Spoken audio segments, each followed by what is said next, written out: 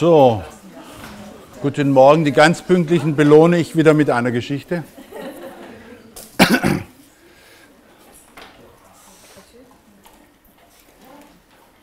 Eine Schnecke macht sich auf, einen Baum zu besteigen im März.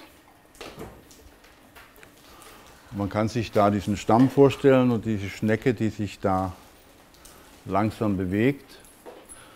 Und dann setzt sich auf einen der unteren Äste eine Krähe, guckt die Schnecke an und sagt, was machst du denn da? Da sagt die Schnecke, ich will Kirschen essen. Da sagt die Krähe, aber jetzt gibt es doch keine Kirschen. Sagt die Schnecke, bis ich oben bin, gibt es welche.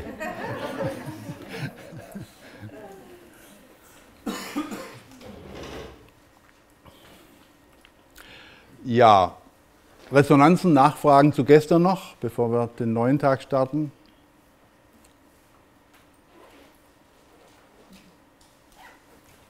Ich habe begonnen, in dem Büchlein zu lesen, das Sie draufgelegt haben. Ja, welches, welches von denen? Die, Das Das- da, mit dem Zirkusbild drauf. Ja, genau. Mhm. Dazu zwei Fragen, vielleicht können Sie die irgendwie im Verlauf des Tages ein, einbauen. Einerseits das mit den Bildern aus unserer Fantasiereise. Sie haben da auch in Ihrer Rede was davon beschrieben. Die Bilder als Mosaiksteine auf unserem Ja. Lebensweg. Und interessant fand ich, dass Sie sagten, die Bilder seien von Zukunft, Vergangenheit, Gegenwart, aber die zeitliche Abfolge spiele gar nicht so eine Rolle. Ja, Warum? Das interessiert mich. ja. Äh, Ich wurde auch noch mal vorher gefragt nach der Synchronizität. Äh, Ich komme nachher an einem, äh, äh, zu einem Punkt, der heißt Resonanz.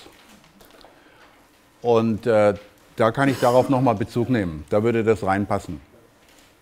Und die zweite Frage ist, Sie haben irgendwo geschrieben, Ziele seien einengend. Ja, Genau, mir erlebt es oft so, dass Ziele noch förderlich sind, wenn wir gemeinsam etwas erreichen wollen. Und mich interessiert da der Hintergrund, wie, wie Sie, in welchem Kontext Sie diese Aussage machen. Ja, also ich meine, das, ein Ziel ist normalerweise die Bestimmung auf einen Punkt, der zu erreichen ist, auf einem zu definierenden Weg. Äh, oder vielleicht weiß ich den Weg nicht genau, aber ich weiß den Landepunkt. Das ist normalerweise unser Verständnis von Ziel. Und die meisten, die meisten Entwicklungsinteressen im Leben funktionieren so nicht. Und deswegen bin ich davon weggekommen, Ziele zu definieren, sondern ich finde es viel wichtiger, einen Sinn dafür zu entwickeln, ob man in der richtigen Richtung und auf die richtige Weise unterwegs ist. Dann wird man schon sehen, wohin man kommt.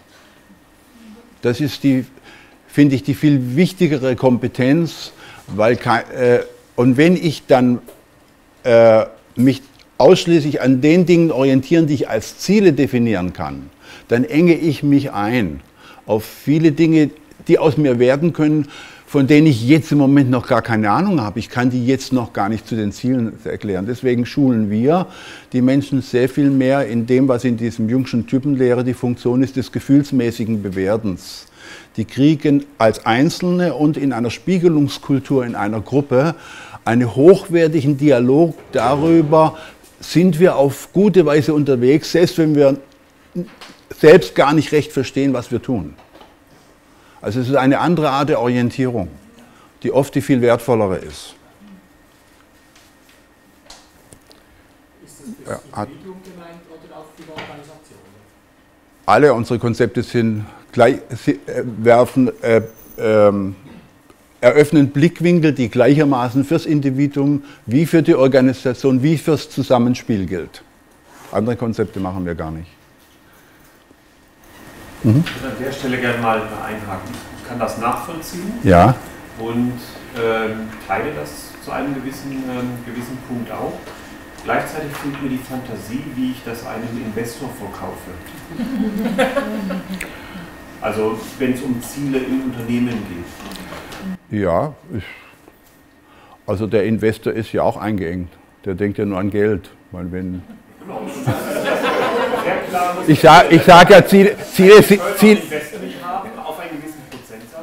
Ja, aber das ist so eine Unkultur, die muss ich eh nicht bedienen. Äh, Geld kann man nicht essen, das hat schon dieser, dieser Indianerhäuptling vor langer Zeit gesagt. Äh, aber ich bin ja auch nicht gegen, äh, gegen einen Versuch, ein Ziel zu formulieren, dort, wo das Sinn macht. Ich bin ja nur dagegen, ich sage ja nur, wenn ich das als kolonialistische Vorstellung daran äh, orientiere ich mein, meine Wahrnehmung, welche Wirklichkeiten mich überhaupt interessieren. Daran orientieren mich meine, äh, orientiere ich meine Prioritäten im Leben, mit wem ich überhaupt in Kontakt bin und all diese Sachen. Dann ist es äußerst einengend. Äh, aber es ist natürlich auch nicht schlecht, äh, dort, wo das ein geeignetes Vorgehen ist, ein Ziel zu definieren.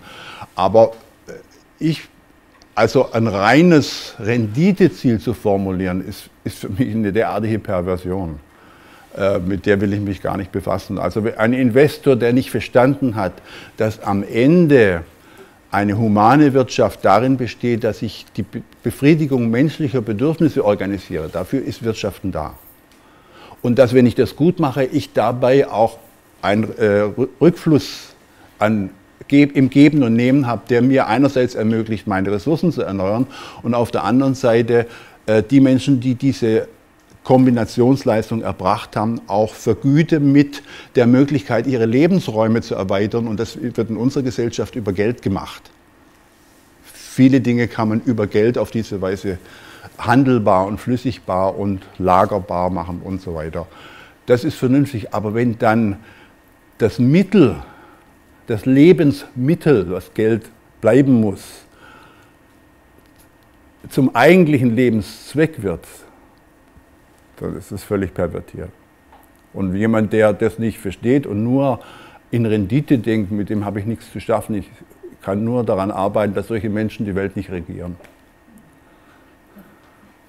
Mir helfen Ziele als Beraterin, merke ich gerade, dass ich eine Orientierung behalte ja. das Anliegen des Vis-a-vis. Und jetzt stelle ich mir vor, das ist für mich echt befreiend, kein Ziel zu formulieren, so wie ich es mir ja. bin.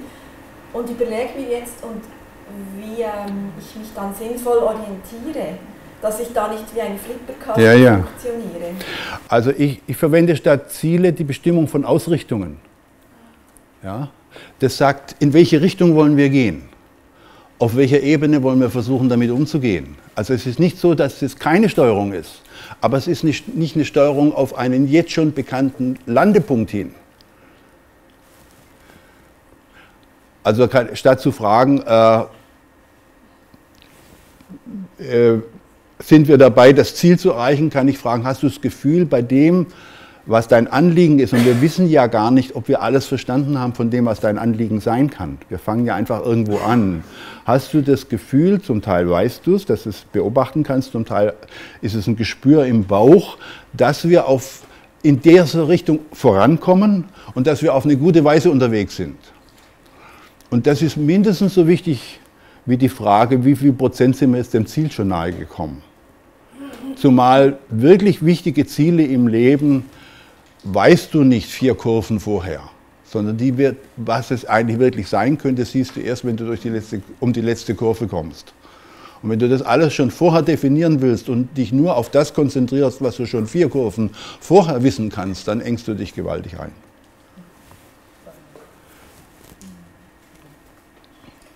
Ja, vor allen Dingen oft, also ich kenne das von den Betrieben, oder? Die haben dann Jahresziele, Dreijahresziele und so weiter. Und wenn man es beobachtet, gerade Budget oder was auch immer, funktioniert immer nur so halbpatzig, oder? Und ich manchmal denke ich, vielleicht ist es auch die Definition der Ziele. Ist es wirklich nur mit Zahlen eine Definition eines Zieles oder ist es das Ziel zu sehen, wir wollen besser miteinander umgehen, sowas zum Beispiel? Ist es oder. Naja, in unserer, in unserer äh in unserer Wirtschaft ist es schon wichtig, auch äh, weil wir einfach bestimmte Umgang mit Mitteln brauchen, um nachhaltig überleben zu können, ist es schon gut, Rahmensetzungen zu formulieren. Das ist aber nicht das Ziel. Das ist die, Gewinn ist nicht das Ziel eines Unternehmens, sondern eine, Not, eine notwendige, ein notwendiges Ergebnis der Entwicklung, die mir ermöglicht, dass ich sie fortsetzen kann. Und vielleicht meine Spielräume erweitern kann. Aber das, der Gewinn ist doch nicht. Also wenn der Gewinn das Ziel ist, dann hat man vergessen, wofür man wirtschaftet. Also in dem kleinen Büchlein ist ja da, äh, äh, wie heißt das, Grundgedanken zu humanem Wirtschaften. Da beschreibe ich all diese Dinge in diesem Bild, das ihr da gefunden habt. Aber natürlich braucht in einer Gesellschaft, äh, in der ich institutionelle äh, Stabilität entwickeln muss in gewissem Maße, indem ich äh, Mittelnachfluss sichern muss, indem das über Märkte geht, die nach monetären Gesichtspunkten auch gesteuert wird, brauche ich schon auch dafür eine plausible Rahmensetzung. Aber ich darf das nicht zum eigentlichen Zweck der Sache erklären äh, und das darf nicht das Ziel der Sache werden. Und äh, die, unter, die Unternehmen, die wirklich innovativ sind und die Welt voranbringen, wenn du da nach, äh, äh, nach Kalifornien, Silicon Valley gehst, das sind alles Unternehmer, die sind, haben so viel Geld, die interessieren sich nicht fürs Geldverdienen in erster Linie. Das sind alle Leute, die von einer Idee getrieben sind, wie man die Welt besser machen kann. Die muss man nicht teilen. Aber das sind Passionierte, das sind nicht Renditejäger. Das sind die, das sind die, die nachher kommen, die Aasgeier. Aber das mit dem Rahmen, das nenne ich nicht. Ich habe gestern im Zug diesen Artikel auch gelesen, ja. da geschrieben hast zur Wirtschaft. Ich war äh, berührt davon, wirklich. Äh, und ich habe mich gefragt, hast du da Reaktionen erhalten aus, aus der Politik beispielsweise, politischen Kräften? Das sind Bühnen, auf denen ich mich nicht bewege. Ich weiß nicht, ob irgendjemand sich dort für das, was ich dazu denke, interessiert hat. Ja. Es gibt auch keine spezifischen Reaktionen. Nein, aber die Menschen, die zu uns kommen, ich meine, wir sind ja auch eine, wir sind ja ein bestimmtes äh, Kraftfeld und Kulturraum, das Institut und dies. Äh, und das zieht ja Menschen an, die sich für solche Werte und solche Lebensorientierung auch interessieren. Und die entwickeln sich in einer Weise, die wiederum andere aufmerksam macht und sagt, hey, der entwickelt sich wohin, was für mich interessant ist. Wo hast du gelernt? Ah, in Wiesloch. Und dann gehen die, dann will ich auch nach Wiesloch. Das heißt, es entsteht einfach ein Kulturmilieu und die Leute, die äh, sich für diese Werte, von diesen Werten aus irgendeinem Grund gar nicht angesprochen fühlen, die, die interessieren sich auch nicht für Leute, die durch Wiesloch bereichert werden und die kommen auch einfach gar nicht zu uns. Deswegen kann ich über diese Welten äh, nicht viel sagen. Wir haben aber es gibt, sagen wir mal so, unsere Gesellschaft ist nicht so schlecht dran, wie man oft denkt, wenn man nur die Zeitungen liest und die skandalösen äh, Dinge. Wir haben so viele hochrangige, wichtige Leute aus der Wirtschaft. Wir haben ja fast alle DAX-Unternehmen, die bei uns Weiterbildung machen. Das sind wirklich oft kultivierte Leute äh, und die sich auch wirklich einsetzen und äh, die, die müssen leistungsmäßig gut sein, sonst werden sie nicht gehört. Ja? Also Leute, die nur auf Werte machen und leistungsmäßig nichts bringen, auf die hört keiner in der Wirtschaft. Und deswegen äh, gibt es bei uns zum Beispiel auch keine Seminare über Werte. Bei uns gibt es Professionalisierung, gibt es äh, Supervision für Arbeitsvorhaben. Aber darin ist immer ein Steuerungsgesichtspunkt und wie macht das Sinn unter humanistischen Gesichtspunkten? Oder bedienst du damit eine Perversion, die du selbst nicht gut findest? Und, und da haben, auf diese Weise äh, erreichen wir doch relativ viele Menschen, muss man sagen. Aber wir sind ein Sandkorn in der Düne. Aber ein bisschen verändern wir die Laufrichtung der Düne. Soweit das halt ein Sandkorn kann. Dann wollte ich noch mal was sagen. Ich bin heute Morgen noch mal gefragt werden, wie, wie steht denn das eine Konzept zum anderen Konzept und wie, wie, wie, wie, können die, wie weiß ich aus den vielen Konzepten, die es gibt, welche die richtigen sind und wie die in ein System zu bringen sind. Ähm, das ist der Versuch, der etwas mit unserer Bildungstradition zu tun hat, ähm, dass wir versuchen, die Dinge randscharf zu erklären. Also ähm, wir, wir wollen wissen, die Definition, also wo, wo hört der Erklärungsraum auf und wo fängt, fängt ein nächster Erklärungsraum an und wie steht das genau im Verhältnis zueinander. Und das ist eine Art des Definierens, das für die an den Hochschulen gelehrte Wissenschaft einen gewissen Nutzen hat. Der oh, George Steiner, ein, ein berühmter Kulturwissenschaftler, äh, der hat gesagt, diese Art von randscharfer Verständnis der Dinge, äh, die ist gut für empirische Wissenschaft. Aber alle Kulturdinge sind auf diese Weise nicht genau zu definieren, sondern die brauchen kernprägnante Verständnisse. Also ich muss im Wesentlichen verstehen, worum es geht und mein Verständnis davon an einem Beispiel oder durch die Art, wie ich es lebe, spürbar machen können. Ich muss aber nicht die genaue Grenzziehung machen können. Das ist, äh, da, da, verfallen wir manchmal in, in Bildungstraditionen, die nicht sehr nützlich sind. Und in der Wissenschaftstheorie unterscheidet man zwischen Systemen, da werden dann die verschiedenen Erklärungssysteme zueinander in eine logische, ein eindeutige Ordnung gebracht.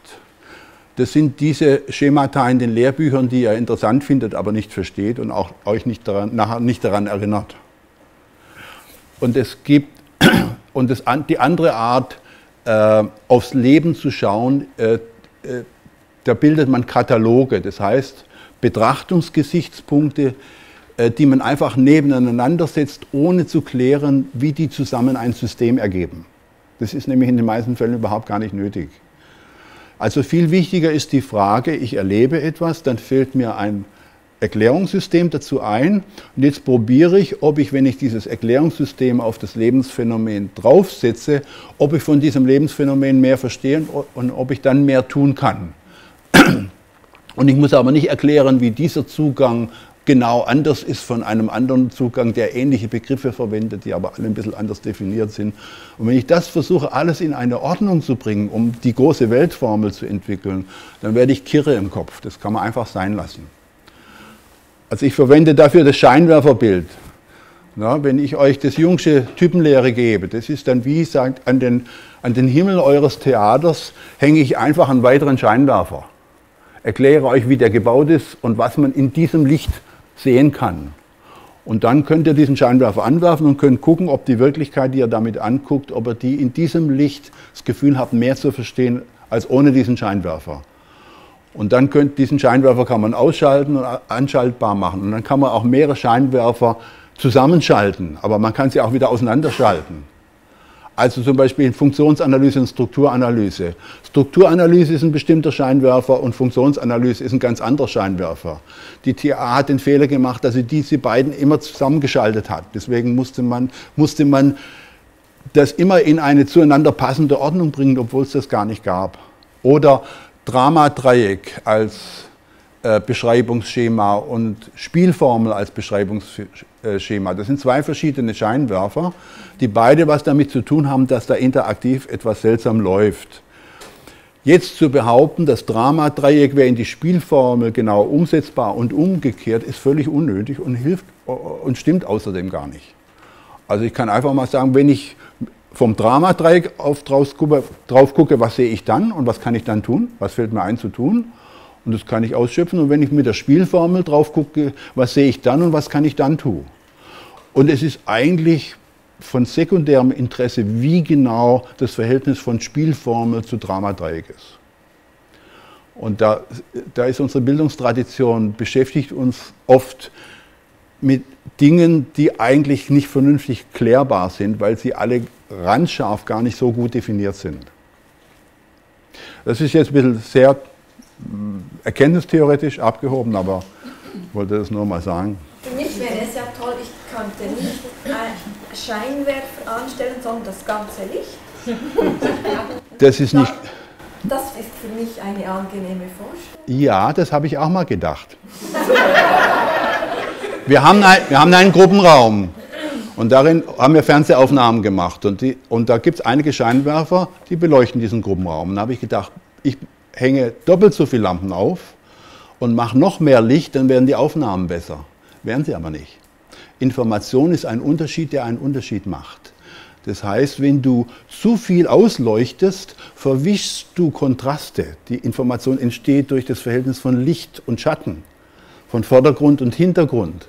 Und wenn du unnötig viel gleichzeitig in den Blick nimmst, kriegst, vernichtest du Informationen, weil die, weil die Kontraste, die ja erst die Informationen liefern, dadurch verloren gehen.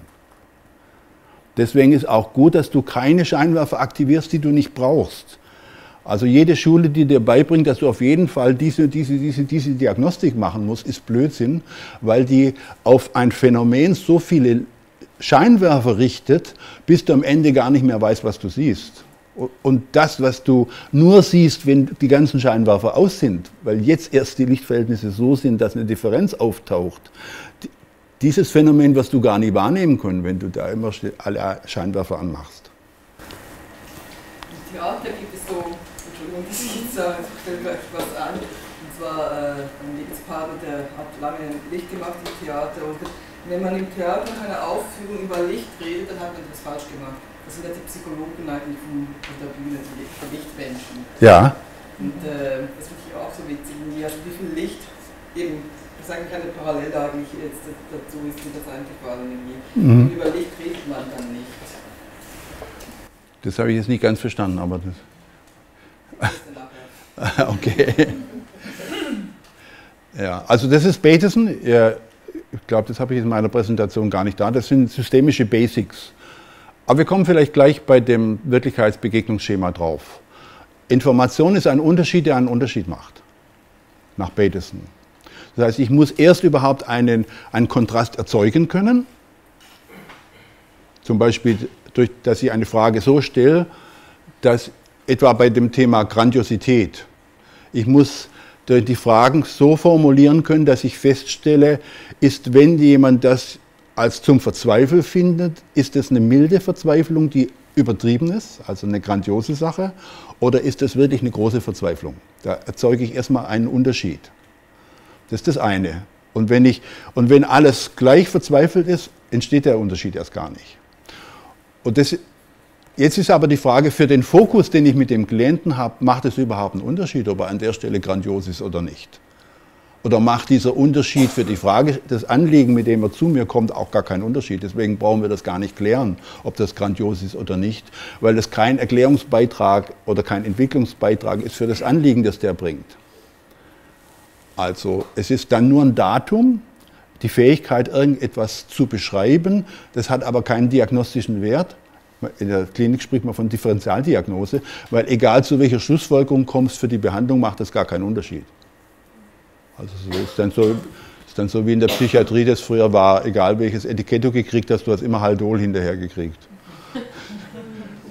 Da hättest du aber die Diagnostik auch sparen können.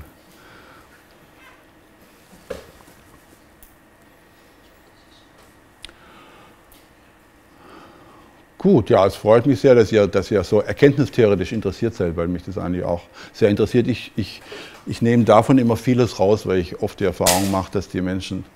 Ich, mein, mein Killer ist dann immer, wenn jemand sagt, ich habe es nicht verstanden, können Sie mal ein Beispiel machen? Ich versuche dann, this leads me to another story.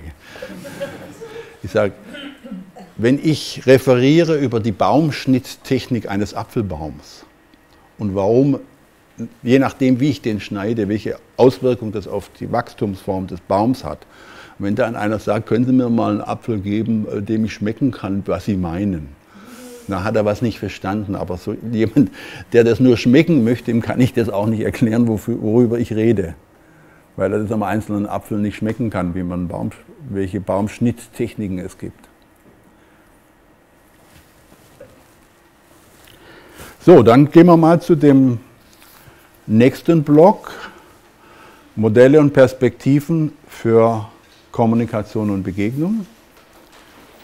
Ihr habt es ja in der Übersicht, äh, diese fünf Punkte. Und da gehe ich jetzt ein bisschen flott rein, weil wir später noch Dilemma und alle möglichen Sachen haben, die wir eh nicht ausloten können. Aber wenn wir da noch Spielraum haben, mache ich das lieber mehr. Äh, das ist eines unserer äh, weitest verbreitenden Kommunikationsmodelle, nämlich das Kulturbegegnungsmodell der Kommunikation unten. Und ich habe es hier in dem Chart äh, kontrastiert zu diesem technischen Senderkanal-Empfängermodell der Kommunikation.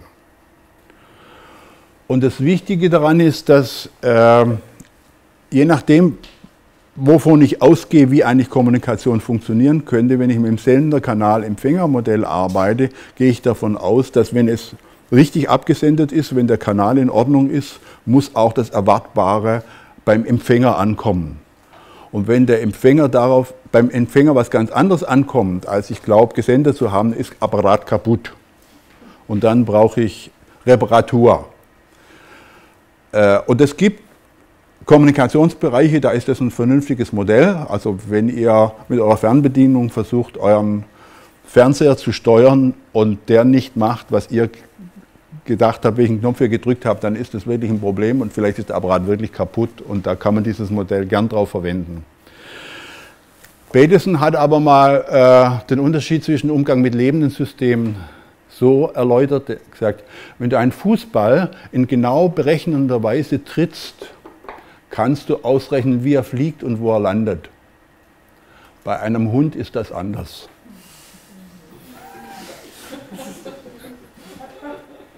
Und das ist jetzt das Kommunikationsmodell für Umgang mit Hunden.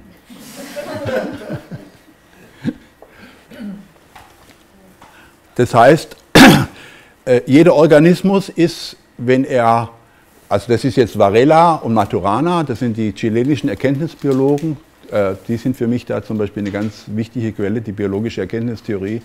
Die sagen, jeder Organismus ist erstmal damit beschäftigt, seine eigene Wirklichkeitsblase zu verwalten. So wie jede Hirnzelle im Hirn, die mit der Verarbeitung von Außenreizen beschäftigt ist, gleichzeitig hundertfach mit der Verarbeitung von Innenreizen beschäftigt ist.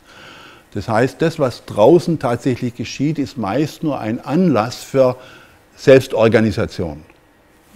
Also das Maß, in dem jedes Wirklichkeitssystem eigentlich auf sich selbst bezogen ist, ist sehr viel höher als, äh, äh, als das, was dann an wirklichem Kommunikationsaustausch geschieht. Und das, und das drückt sich in diesem Kulturbegegnungsmodell der Kommunikation aus. Da treffen zwei Kulturen aufeinander und wir können einfach von. Es ist ein Wunder, dass die überhaupt was miteinander anfangen können. Also anders als mit dem technischen System. Und wenn die in einer Kultur sozialisiert sind, dann, wenn einer sagt, ich gehe Straßenbahn fahren, dann, äh, kommt, äh, äh, dann kommt es wahrscheinlich beim Empfänger einigermaßen in dem Bereich an, die sich der Sender erwartet. Wenn ich aber in der Sahelzone mit einem Zulu, dem sage ich, gehe Straßenbahn fahren, da kommt da überhaupt nichts an, weil der mit mir nicht in einer Kulturgemeinschaft lebt. Und wir müssen, und das ist ja das, was Erikson auch immer verdrehen hat, wir müssen davon ausgehen, dass jeder in seinem eigenen Kosmos lebt und es ein Wunder ist, dass wir uns überhaupt verständigen können. Das heißt, dass wenn wir merken an irgendeiner Stelle, wir sind nicht, wir haben uns nicht verständigt, wir können nicht Hand in Hand arbeiten, das schwingt nicht richtig zusammen, heißt das nicht, dass Apparat kaputt ist, sondern heißt es, äh, äh, macht uns darauf aufmerksam, dass Kulturbegegnung eigentlich Kommunikationsarbeit ist, äh, die ganz besondere Aufmerksamkeit braucht und deswegen auch mit einer konstruktiven Haltung. Aha, irgendwie scheint bei dir was völlig anderes angekommen zu sein, als ich gedacht habe, wie du das verarbeiten müsstest. Lass uns mal klären, wie das eigentlich läuft und was du eigentlich verstanden hast und in welchem System du dich dabei bewegt hast. Das heißt, wir müssen eigentlich eine Haltung von Anthropologen entwickeln als, Kult, als Kommunikationsmenschen, die davon ausgehen, dass wahrscheinlich ich nicht verstanden habe, in welcher Welt der anderen lebe. Aber wir können trotzdem versuchen, uns das gegenseitig plausibel und verständlich zu machen. Und die professionelle Begegnung besteht deswegen zum größten Teil darin, in, in, in der Schaffung eines gemeinschaftlichen Wirklichkeitsraumes, in dem Dinge abgehandelt werden, die beide in ihrer Logik als nützlich erleben. Ich sage auch immer, es können aber zwei Menschen durchaus gut verheiratet sein, aber aus völlig unterschiedlichen Gründen. Der, Wirkl der Wirklichkeitsimperialismus fängt an, wenn ich meine, der andere muss den Dingen die gleiche Bedeutung geben, die ich ihnen gebe.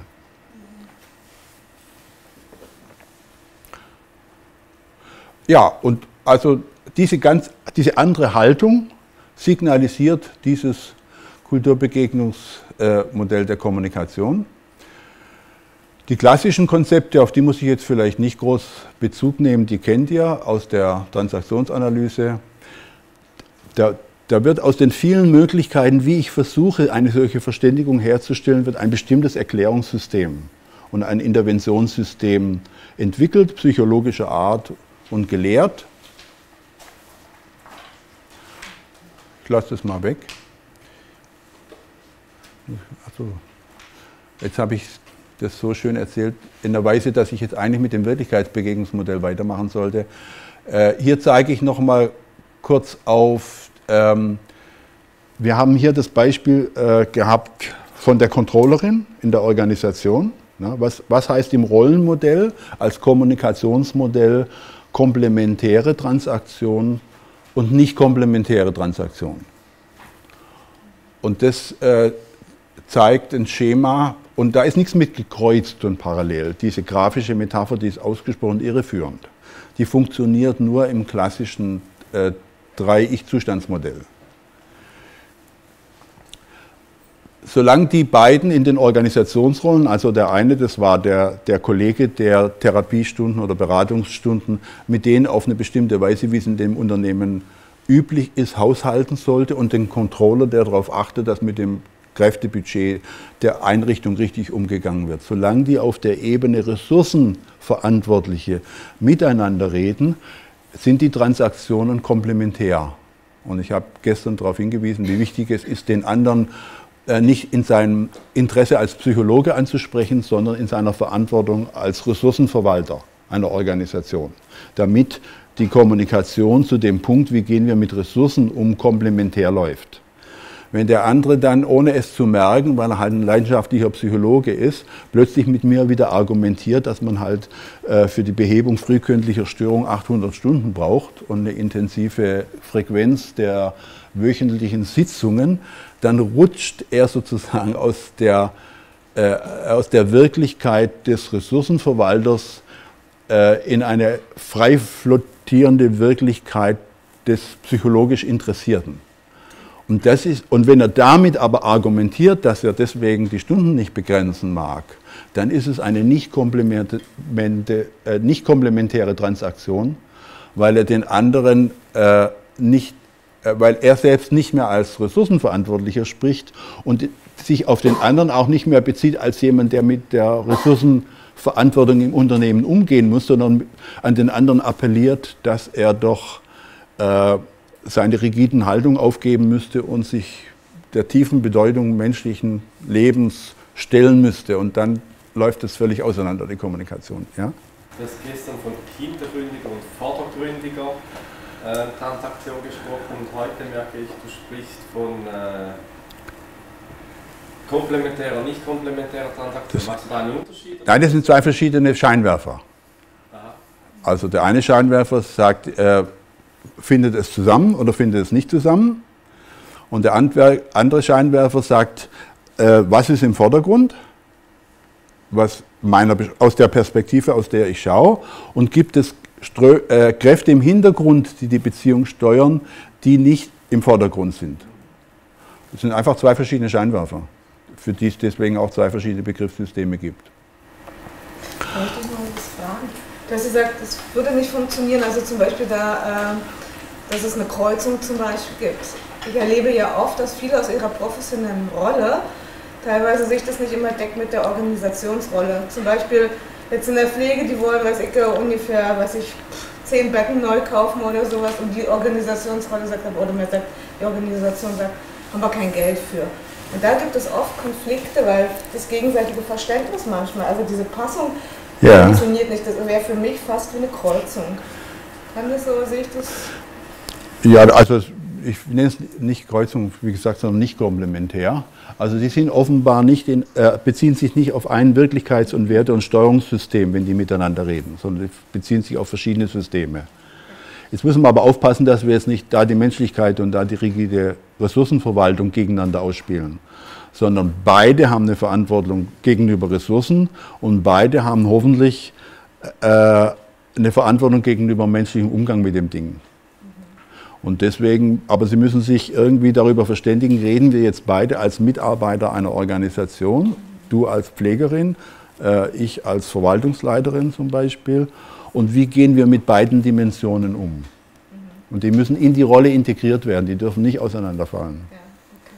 Also muss man da wieder diesen gemeinsamen Weg finden, also eine Passung finden. Ja, ja also Passung, den Begriff verwende ich für was anderes, aber äh, man muss äh, ein gemeinsames Verständnis dafür in welchen Rollen bezogen auf welche Welten sprechen wir eigentlich gerade überhaupt miteinander. Also das geht von diesem Prinzip aus, dass für mich Kommunikation als Rollenkommunikation konzipiert wird. Und die Rolle hat was mit dem System zu tun. Und da gibt es vielleicht unterschiedliche Konzeptionen. Das eine sind Organisationsrollen, die so gebaut sind, dass sie sich zum Beispiel nicht eins zu eins übersetzen lassen in äh, zum Beispiel Beraterrollen, wie du sie in der Weiterbildung lernst. Da sind ganz andere Steuerungskriterien und Prioritäten fließen da rein in der Konfiguration der Rolle und der Handlungssteuerung. Und da muss man sich darüber verständigen. Und dass man wechselseitig überhaupt versteht, nach welchen Gesichtspunkten kommst du eigentlich zu dem Kommunikationsbeitrag, den du hier lieferst, dass, äh, dass das notwendig ist, das äh, beschreibt das äh, Kulturbegegnungsmodell der Kommunikation. Und wir kommen dann gleich nachher nochmal zu diesem äh, weiterentwickelten Schiffchen-Modell, wie diese Wirklichkeitsbegegnung, wenn das nicht zusammenkommt, man merkt, es kommt nicht zusammen, wie man das schrittweise aufbauen kann, dass man überhaupt Gemeinschaftswirklichkeit herstellt durch Kommunikation. Und sehr oft wird es einfach angenommen, die wäre da, die Gemeinschaftswirklichkeit, und dann passt es aber nicht. Und dann, dann hält man das für einen wie auch immer gearteten Konflikt. Aber der Konflikt ist nur die Folge dafür, dass man sich darüber geirrt hat, dass man noch gar nicht in einer gemeinsamen Wirklichkeit ist.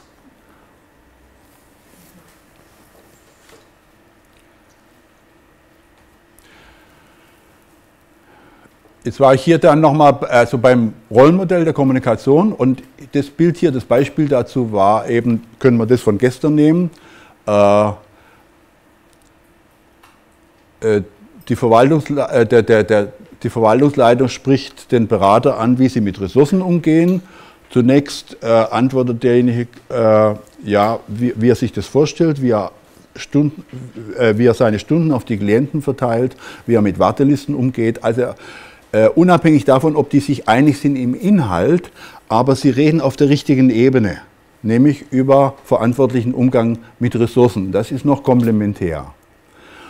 Und dann kann aber sein, dass dem Berater die Einschränkung, die sich ergeben würde, wenn er so weiterredet, wenn es nämlich um die Verantwortung den gesamten Ressourcen gegenüber geht, dass ihm das nicht gefällt.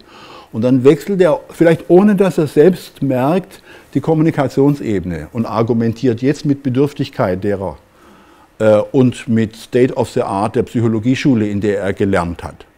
Und das ist dann das, was man früher eine gekreuzte Transaktion genannt hätte. Und da muss natürlich äh, der Controller oder die Controllerin, die Verwaltungsleiterin muss merken, dass der andere nicht nur eine andere Ansicht hat auf der Rollenebene, über die wir jetzt sprechen, sondern dass der andere überhaupt die Wirklichkeitsebene wechselt.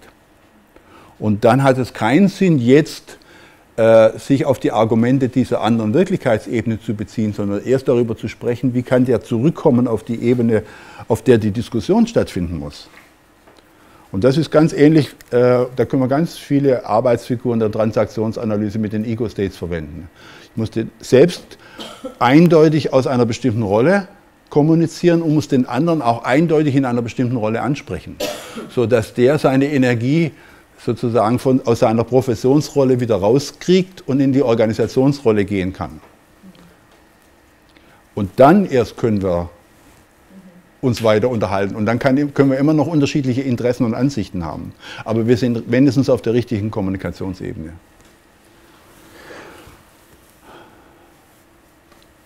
Also vier wäre dann äh, praktisch die Kreuzung. Jemand spricht den anderen plötzlich an und sagt, ja wissen Sie, Sie als, äh, Sie als Betriebswirtin, die hier den Job haben, Sie können das ja auch gar nicht beurteilen, wie viele Stunden so ein Klient braucht. Ne? Das wäre eine gekreuzte Transaktion, die auf diese, äh, auf, die, äh, auf die unterschiedlichen Ansichten unterschiedlicher Professionswelten abzielt. Beides ist vordergründig, da ist nichts hintergründig dran. Wenn man das mit dieser Brille anguckt, kann man das vordergründig problemlos so beschreiben. Hintergründig könnte vielleicht sein, dass da zwei Frauen sind, die in einer persönlichen, privaten Konkurrenz zueinander unterschwellig, wer hier eigentlich die bessere, wichtigere Frau ist in diesem Laden, konkurrieren. Das wären dann unten dieses 1a und 2a. Dann hätten wir das andere Schema. Also wir sagen, äh, obwohl beide eigentlich kompetent sind, und auch dieses, den Unterschied zwischen Professionsrollen und Organisationsrollen kennen, und bedienen könnten, merkt man, dass doch der Kommunikationsverlauf anders läuft und woanders endet, als man aufgrund dieser Kompetenz erwarten könnte. Und da kann sein, dass es da Wirkkräfte im Hintergrund gibt, die bisher nicht im Vordergrund sind. Äh, und das kann, die können ganz verschiedener Art sein. Äh, und da, da kommt dann dieses andere Schema rein, Vordergrund, Hintergrund. Die Wirkkräfte, ich will das nur jetzt auch nochmal sagen, dass es nicht wieder zu individualpsychologisch wird. Die Wirkkräfte, die im Hintergrund arbeiten, können aber auch ganz anderer Natur sein. Die können zum Beispiel das Geschäftsmodell der Company sein. Dass die deswegen eigentlich das nicht wirklich denken könnten, denn wenn sie das so denken würden, dann müssen sie dem Kunden gegenüber eine andere Abrechnung machen. Und diese Abrechnung wäre teuer. Und deswegen äh, wirkt bei allen Beteiligten im Hintergrund das Interesse die bisherige Geschäftsmodell und den damit verbundenen Gewinn beizubehalten, was sie beide nicht frei macht, auf anderen äh, Kommunikationsebenen sich auch wirklich ehrlich und wirksam zu, zu, verständigen. Also es gibt ganz andere Art von Hintergründe. Es ist nicht immer nur die persönlich private, biografieorientierte Hintergrundbeschreibung, die wir uns angewöhnt haben in der Transaktionsanalyse.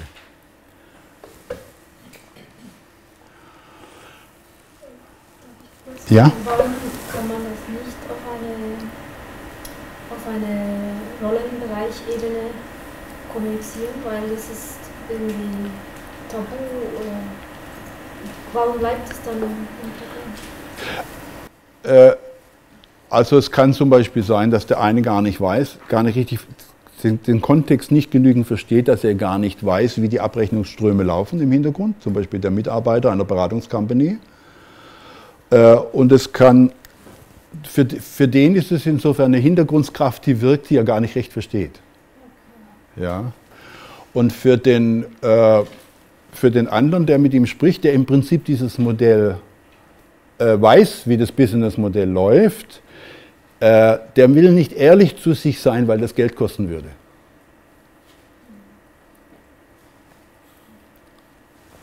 Also ist ein, ein Beispiel, kreiertes Beispiel. Ja, ich hänge noch ein bisschen bei deinem Beispiel dieser beiden Frauen, ja. die du erwähnt hast.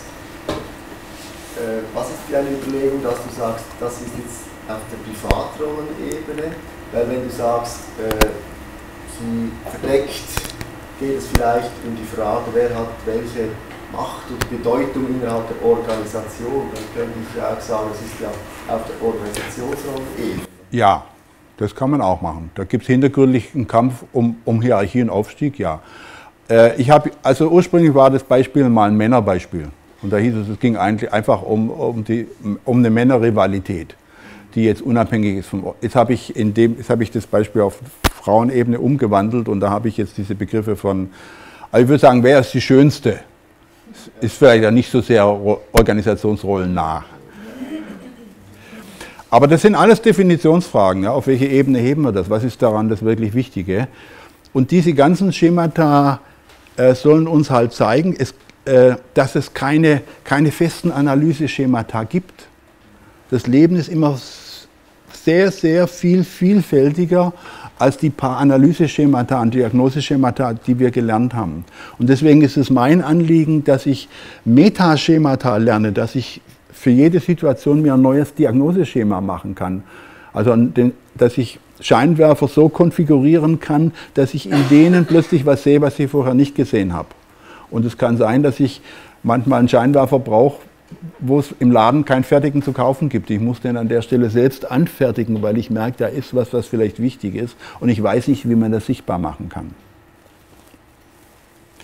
Ist, ist in einer Weise auch sehr viel anspruchsvoller, weil man keinen man kein festes Handwerk mit Regeln lernen kann, dass man dann immer so macht, wie man es dann halt macht, sondern man wird eigentlich zum äh, frei, freien Künstler, der Handwerk braucht, aber sich nicht durch Handwerk definiert. So, aus, diesem, äh, aus dieser stärkeren Bezogenheit auf Rollen und auf Kontexte ziehen wir eine Reihe praktischer Konsequenzen, die ich eigentlich nochmal deutlich machen will. Wir machen sehr viel Rollen- und kontextbezogene Spiegelungen in unseren Weiterbildungsgruppen. Also zum Beispiel gibt es eine Spiegelungsgruppe, die so geht, das machen wir im Masterprogramm. ähm, jemand erklärt, wie er sich auf dem Markt zur Verfügung stellt. Und die anderen in der Gruppe teilen wir nach Perspektiven ein. Also du, du stellst dir vor, du bist ein Auftraggeber für den. Du stellst dir vor, du bist ein Mitarbeiter von dem. Du stellst dir vor, du bist ein Lebenspartner von dem im Privatbereich. Du stellst dir vor, äh, du bist ähm, ein Kunde von dem, der im täglichen bedient wird. Und nun hört mal jeder aus dieser Perspektive und aus dieser Rolle zu, was in ihm für Wirklichkeitsbilder entstehen, wenn derjenige sich präsentiert. Und das wird dann nachher gespiegelt. Ich will sagen, also ich als, ich als Kumpel, ich würde mit dir unheimlich gern um die Häuser ziehen. Das sagt der andere, ja, aber wenn ich mir vorstelle, ich bin Leiter eines Beratungsunternehmens und du schaffst bei mir, hätte ich so das Gefühl, du gehst mit ein paar wesentlichen Gesichtspunkten unserer ordentlichen Wirtschaftstätigkeit viel zu lax um. Ich würde dich aus dem Grund nicht nehmen. Und der Kunde wird sagen, ich fände dich klasse, weil ich habe das Gefühl, wenn ich, dich wenn ich dich begeistern kann, so wie du dich präsentierst, dann machst du für mich alles, ob das sinnvoll ist oder nicht, aber wir hätten eine tolle Zeit zusammen. Äh, einer sagt, ich bin jetzt, äh, ich, ich, prüfe, ob ich den in einen Coachingverband mit aufnehmen kann. Der hat dann wieder eine ganz andere Perspektive. Das heißt, wir machen Spiegelungsprozesse äh, nicht allgemeiner Art, irgendwas, was mir halt auffällt, wenn ich mit dir äh, kommuniziere, sondern es, wird, es werden Bühnen, es werden Inszenierungen, es werden Rollenperspektiven, Interessenlagen definiert und aus denen heraus wird sehr spezifisch äh, dem anderen zurückgemeldet, welche Bilder in mir entstehen, wenn ich sein Wirklichkeitsverhalten erlebe. Und das führt dazu, dass die Leute eine sehr viel mehr rollen- und feldspezifische Persönlichkeitsentwicklung machen. Äh, und wir bieten auch zunehmend das an. Also wir haben ja immer Selbsterfahrungen angeboten, die sehr so ein bisschen aufstellungsmäßig, biografisch, äh, wenn es dann auch mit Elementen von Wirklichkeitsstilanalyse gemacht. Das war auch lange, war auch immer sehr beliebt, geht aber zurück. Mittlerweile bieten wir an Selbsterfahrung, sagen wir mal, für Unternehmer. Und da wird nicht Selbsterfahrung als Ehepartner und was ich schon immer im Leben werden wollte und wie gehe ich mit Gefühlen um, sondern speziell aus der Unternehmerperspektive, wie erlebe ich da die Welt, was tue ich da, dann habe ich andere, die auch aus dieser Unternehmerperspektive äh, reflektieren und die spiegeln mir auch speziell, wie sie das erleben, wie ich mich als Unternehmer positioniere. Und dadurch entstehen äh, sehr viel rollen- und feldspezifischere Persönlichkeitsentwicklung. Denn Persönlichkeit ist bei uns ja das Bündel der Rollen auf den Bühnen meiner Welten. Und äh, heute, die meisten Selbsterfahrungen bei uns äh, sind immer noch eigentlich lassen uns automatisch eintauchen in die Welt der privaten Psychologie und Biografie. Auch wichtig, aber die Hoffnung, dass daraus Übertragungen auf rollen- und feldspezifische Entwicklungen stattfinden, da ist vieles Illusion. Und deswegen brauchen wir dafür eigene Selbsterfahrungs- und Persönlichkeitsentwicklungsprodukte, die bei uns auch sehr gern angenommen werden. Die nächste viele in der nächsten Generation wollen auch gar nicht mehr, dass man im Eingemachten da dauernd rum, rumwühlt. Die wollen schon, dass es essentiell ist, dass sie ein ehrliches Feedback kriegen, dass sie spüren können, wie andere rollengemäß auf sie reagieren, wie sie das Gefühl haben, äh, dass sie professionell, aber auch human behandelt werden in ihren Rollenbeziehungen. Die wollen aber deswegen nicht in ihrer Kindheit was machen. Und da gibt es sehr viele Selbsterfahrungs- und Spiegelungsformen, die brauchen die Kindheit auch gar nicht dazu. Obwohl wir natürlich sagen können, aus einem anderen Gesichtspunkt hat jeder natürlich Hintergründe, die immer mit der Kindheit zu tun haben. Aber die gibt es immer. Die Frage, sind sie relevant? Und, sind sie, und ist es, äh, das in den Vordergrund zu holen, ist das wirklich didaktisch das beste Mittel, jemand in seiner Persönlichkeitsentwicklung etwa im professionellen Kontext zu verhelfen? Und da dürfen wir nicht schematisch äh, alte Psychokulturen betreiben. Weitere Konsequenzen hat, das passt nicht ganz genau logisch dazu, aber ich will es mal erwähnen, ist, dass wir in der Weiterbildung zunehmend sogenannte Reifegradsprüfungen machen. Wir gehen davon aus, normalerweise gingen wir davon aus, dass jeder, wenn er ein Supervisionsanliegen einbringt, es in der Stunde, die wir dafür zur Verfügung haben, möglich sein müsste, dem irgendwie entscheidend weiter zu verhelfen. Und so uns kommen dann Leute ins Organisationsentwicklungskurriculum, die haben solche Jumbos zu verwalten. Und die haben dann irgendwie die Erwartung, wenn ich jetzt schon mal dran bin, dann muss ich auch hier all das kriegen, was ich brauche, um diese großen Jumbos zu verwalten. Und manchmal klappt das ganz wunderbar, aber manchmal scheitern die Gruppen auch ganz kläglich, weil es viel zu kompliziert ist und es gar nicht erreichbar ist in der kurzen Zeit. Und deswegen äh, haben wir, äh, bevor jetzt so ein großes Thema angegangen wird, machen wir eine Reifegradprüfung. Da haben wir Fragebögen entwickelt, die kann ich euch jetzt nicht sagen, die ist bei uns aber auf der Website. Äh, Danny schildert mal kurz, welche Rolle er spielt, was sein Thema ist und wie er die Organisation erlebt. Und dann überlegen, und dann kreuzen die anderen an, weiß derjenige, wovon er redet, versteht man, was er sagt, hat er Erfahrung damit, wie weit ist er in seinem Lernprozess und das, was er hofft, jetzt lernen zu können, glaubt man, dass dieser Entwicklungsschritt in der Arbeitseinheit, die wir jetzt machen können, auch nur annähernd bedient werden kann. Das betrifft ihn als Person. Und dann äh, gibt es einen Reifegrad für die Organisation, für, in der er das tun will. Er kann es ja nicht allein tun sondern nur wenn die Organisation so spielt, wie er sich das vorstellt, kann er ja auch Fortschritte erzeugen. Also hat die Organisation Erfahrung mit sowas, wie geht die Organisation mit, mit Leuten wie ihm normalerweise um? Wenn was nicht klappt, hat er Ansprechpartner, mit denen das, was nicht klappt, angemessen besprechen kann. Also wie, wie, ist, wie ist der Lernstand und die Lernfähigkeit der Organisation? Äh, das ist die zweite Reifegradprüfung. Und das lege ich dann nebeneinander. Und dann wird oft in einer ersten Runde äh, überhaupt erstmal ausgetauscht, dass man das Gefühl hat, dass er selbst bei weitem nicht an dem Punkt ist, dass er das Ding wirklich steuern könnte. Er kann es nicht, selbst wenn die Organisation es könnte, er blickt nicht genügend durch.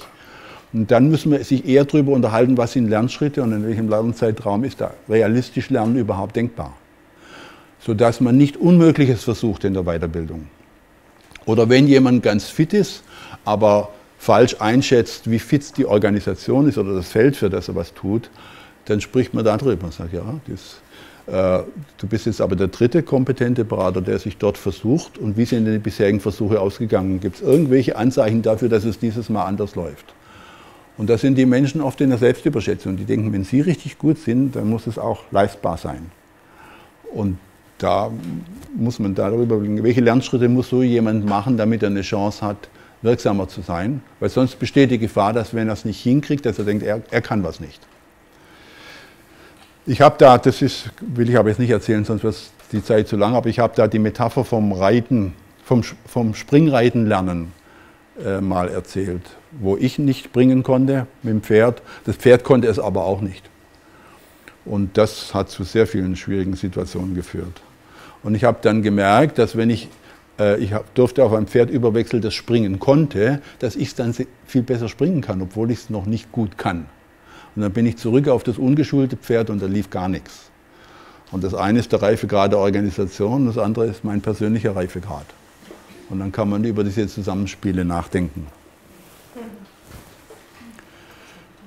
Und was sehr oft, gerade im Organisationsbereich, viel zu wenig gemacht wird, ist, dass geklärt wird, ob die Ressourcen überhaupt verfügbar sind. Da kommen wir noch gleich ähm, dazu, wenn wir das Verantwortungsdialogschema machen.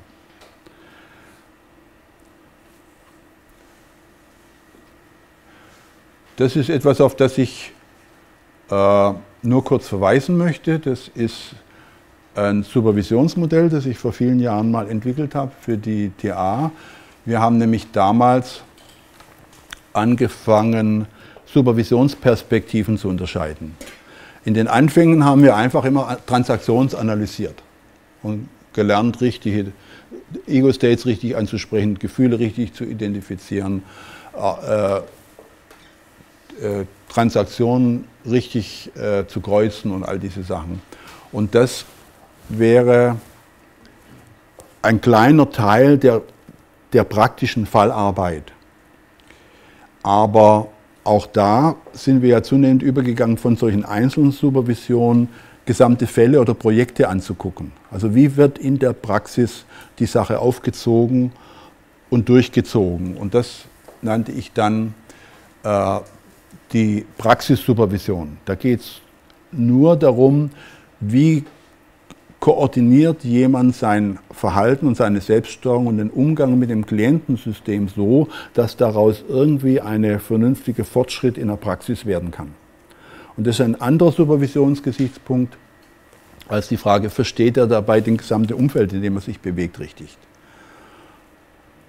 Und äh, erinnert euch an die Kompetenzformel, Rollenkompetenz mal Kontextkompetenz mal Passung. Äh, da wollen Menschen immer wieder mehr Supervision für ihr Rollenverhalten. Und stattdessen bieten wir ihnen an, eine Supervision darüber, ob sie ihren Kontext richtig verstehen und sich in dem Kontext richtig bewegen. Das ist eine andere Art von Supervision. wenn ich nur eine halbe Stunde habe, kann ich nicht jede Transaktion konfrontieren und gleichzeitig äh, eine, richtig, eine vernünftige Analyse von Kontextbezug machen. Und wieder ein anderes Thema ist dann die Frage, habe ich die, die Konzepte, in denen ich dabei denke, sind es vernünftige Konzepte, habe ich die verstanden und haben die einen relevanten Bezug zu dem, was ich da tue? Oder sind es irgendwelche Konzepte? Und das, was ich erzähle, wie ich mir das theoretisch vorstelle und dem, wie ich mich steuere im Verhalten, das hat überhaupt keinen Bezug zueinander. Und das sind verschiedene Supervisionsperspektiven. Am Ende muss es natürlich alles zusammenkommen, aber man kann es nicht alles gleichzeitig abarbeiten. Deswegen gehört in einen Supervisionskontrakt eine Beurteilung seitens des Supervisanten wie seitens des Supervisors, eine Meinung sich darüber zu bilden, welche Art von Priorität der Supervisionsperspektive er überhaupt braucht. Weil es gibt Menschen, die dann chronisch falsch einschätzen, welche Art von Supervision sie eigentlich brauchen. Und deswegen auch immer die Entwicklung nachfragen, die ohnehin bei Ihnen schon relativ gut versorgt ist, aber nicht die Entwicklung nachfragen, die Sie brauchen, dass es im Zusammenspiel nachher funktionieren kann. Gibt es mehrere Aufsätze dazu, könnt ihr finden. Ja? Ganz oben Konzeptualisierung. Ähm, so, okay, das ist von der Katalog. Welche Scheinwürfe? Ja, da kann man zum Beispiel sagen, äh, aus, aus den Konzepten, die du kennst, welches fällt dir ein, wenn du diesen Klienten vor Augen hast.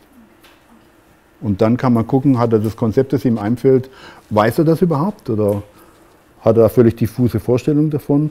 Und wenn er es einigermaßen weiß, was dieses Konzept beleuchtet, kann man mit ihm darüber sprechen, ob für, dies, für das, was er hier beleuchten möchte, diese Beleuchtung überhaupt eine Information hergibt oder vielleicht gibt es gar keine Information her. Dann muss er das chronische Wecken von Erklärungsschemata, das sind dann Denkgewohnheiten. Da muss er lernen, diese Denkgewohnheit loszulassen, dass er nicht immer in Spielen denkt, ob, ob das passt oder nicht.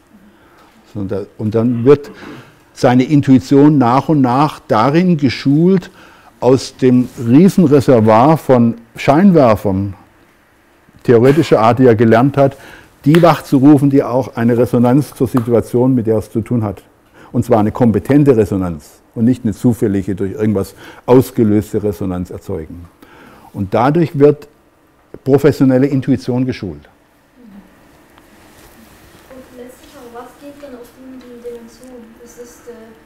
Äh, das, das, das hieß Toblerone-Modell, das soll eine Toblerone-Schokolade sein. Mhm. Äh, das sind die verschiedenen Rippchen. Die verschiedenen Rippchen der Toblerone-Schokolade sind das. Also das heißt, an jedem, an jeder Supervisionsbeispiel musst du diese drei, über die drei Perspektiven nachdenken. Und über ganz viele Rippchen dieser Art entsteht eine lange, hoffentlich gute Schokolade.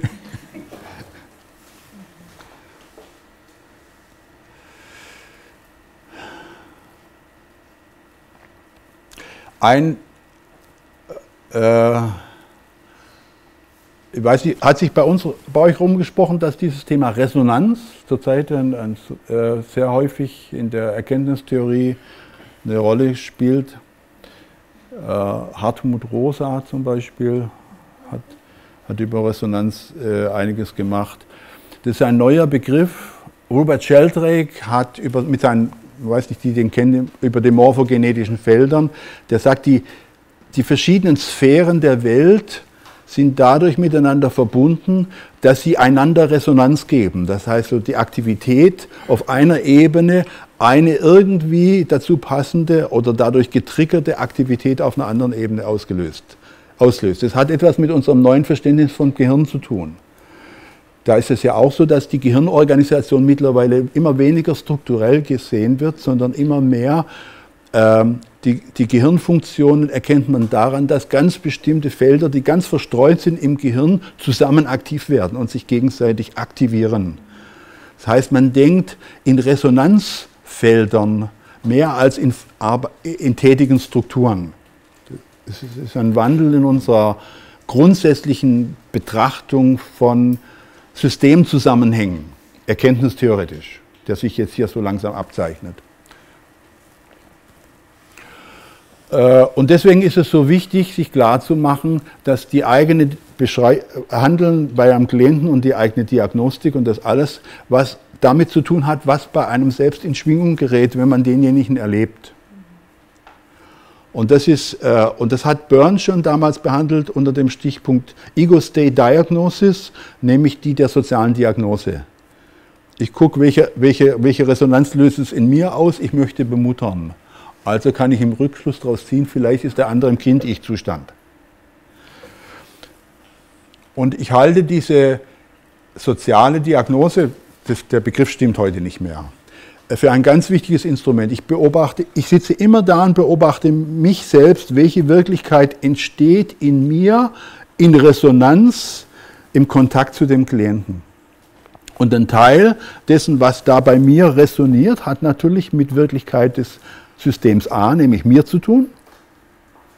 Und das kann auch sehr schematisch sein, was da immer wach wird, kann durch tausend Sachen undifferenziert getriggert sein, da muss ich lernen, das zu differenzieren. Aber, es, aber dass das in mir wach wird, hat auch was damit zu tun, dass irgendetwas im System des anderen es in mir auslöst. Wir sind also ein im Wechselspiel sich befindliches Resonanzsystem. Das gilt für die zwischen den Teilpersönlichkeiten intern, das kann man in einer Zweierbeziehung, aber auch im Team oder in der gesamten Organisation oder in der Gesellschaft so beschreiben. Das heißt, ähm, zu verstehen, mit welcher Wirklichkeit wir im Moment wie umgehen, das wichtigste diagnostischste Instrument ist, dass ich meine eigenen Resonanzen identifiziere. Und praktisch in der Spiegelungsübung wird es bei uns so eingeleitet, wenn ich dir zuhöre, merke ich, dass in mir folgendes Bild wach wird. Dass dieses Bild wach wird, ich werde zum Beispiel, je länger ich dir zuhöre, desto vorsichtiger werde ich.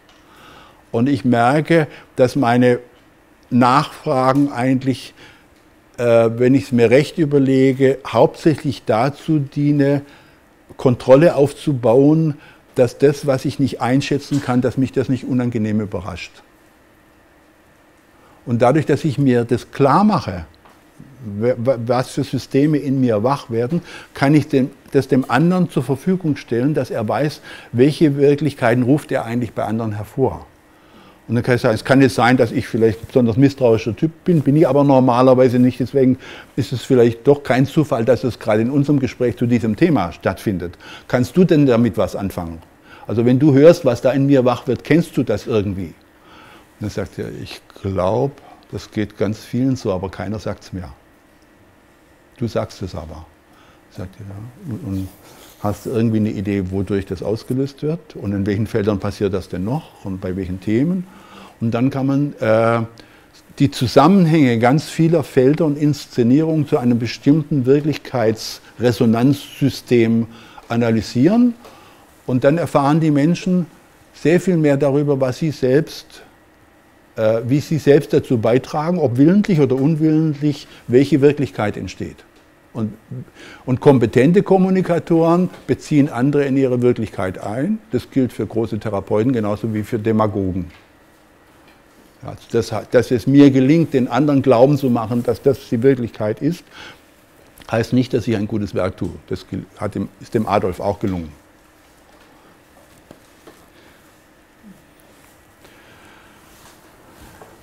Und äh, das hat jetzt einen Bezug zu dem, was ich ja Wirklichkeitszielanalyse genannt habe. Äh, Byrne hat ja schon gesagt, achte auf die Anfangstransaktion.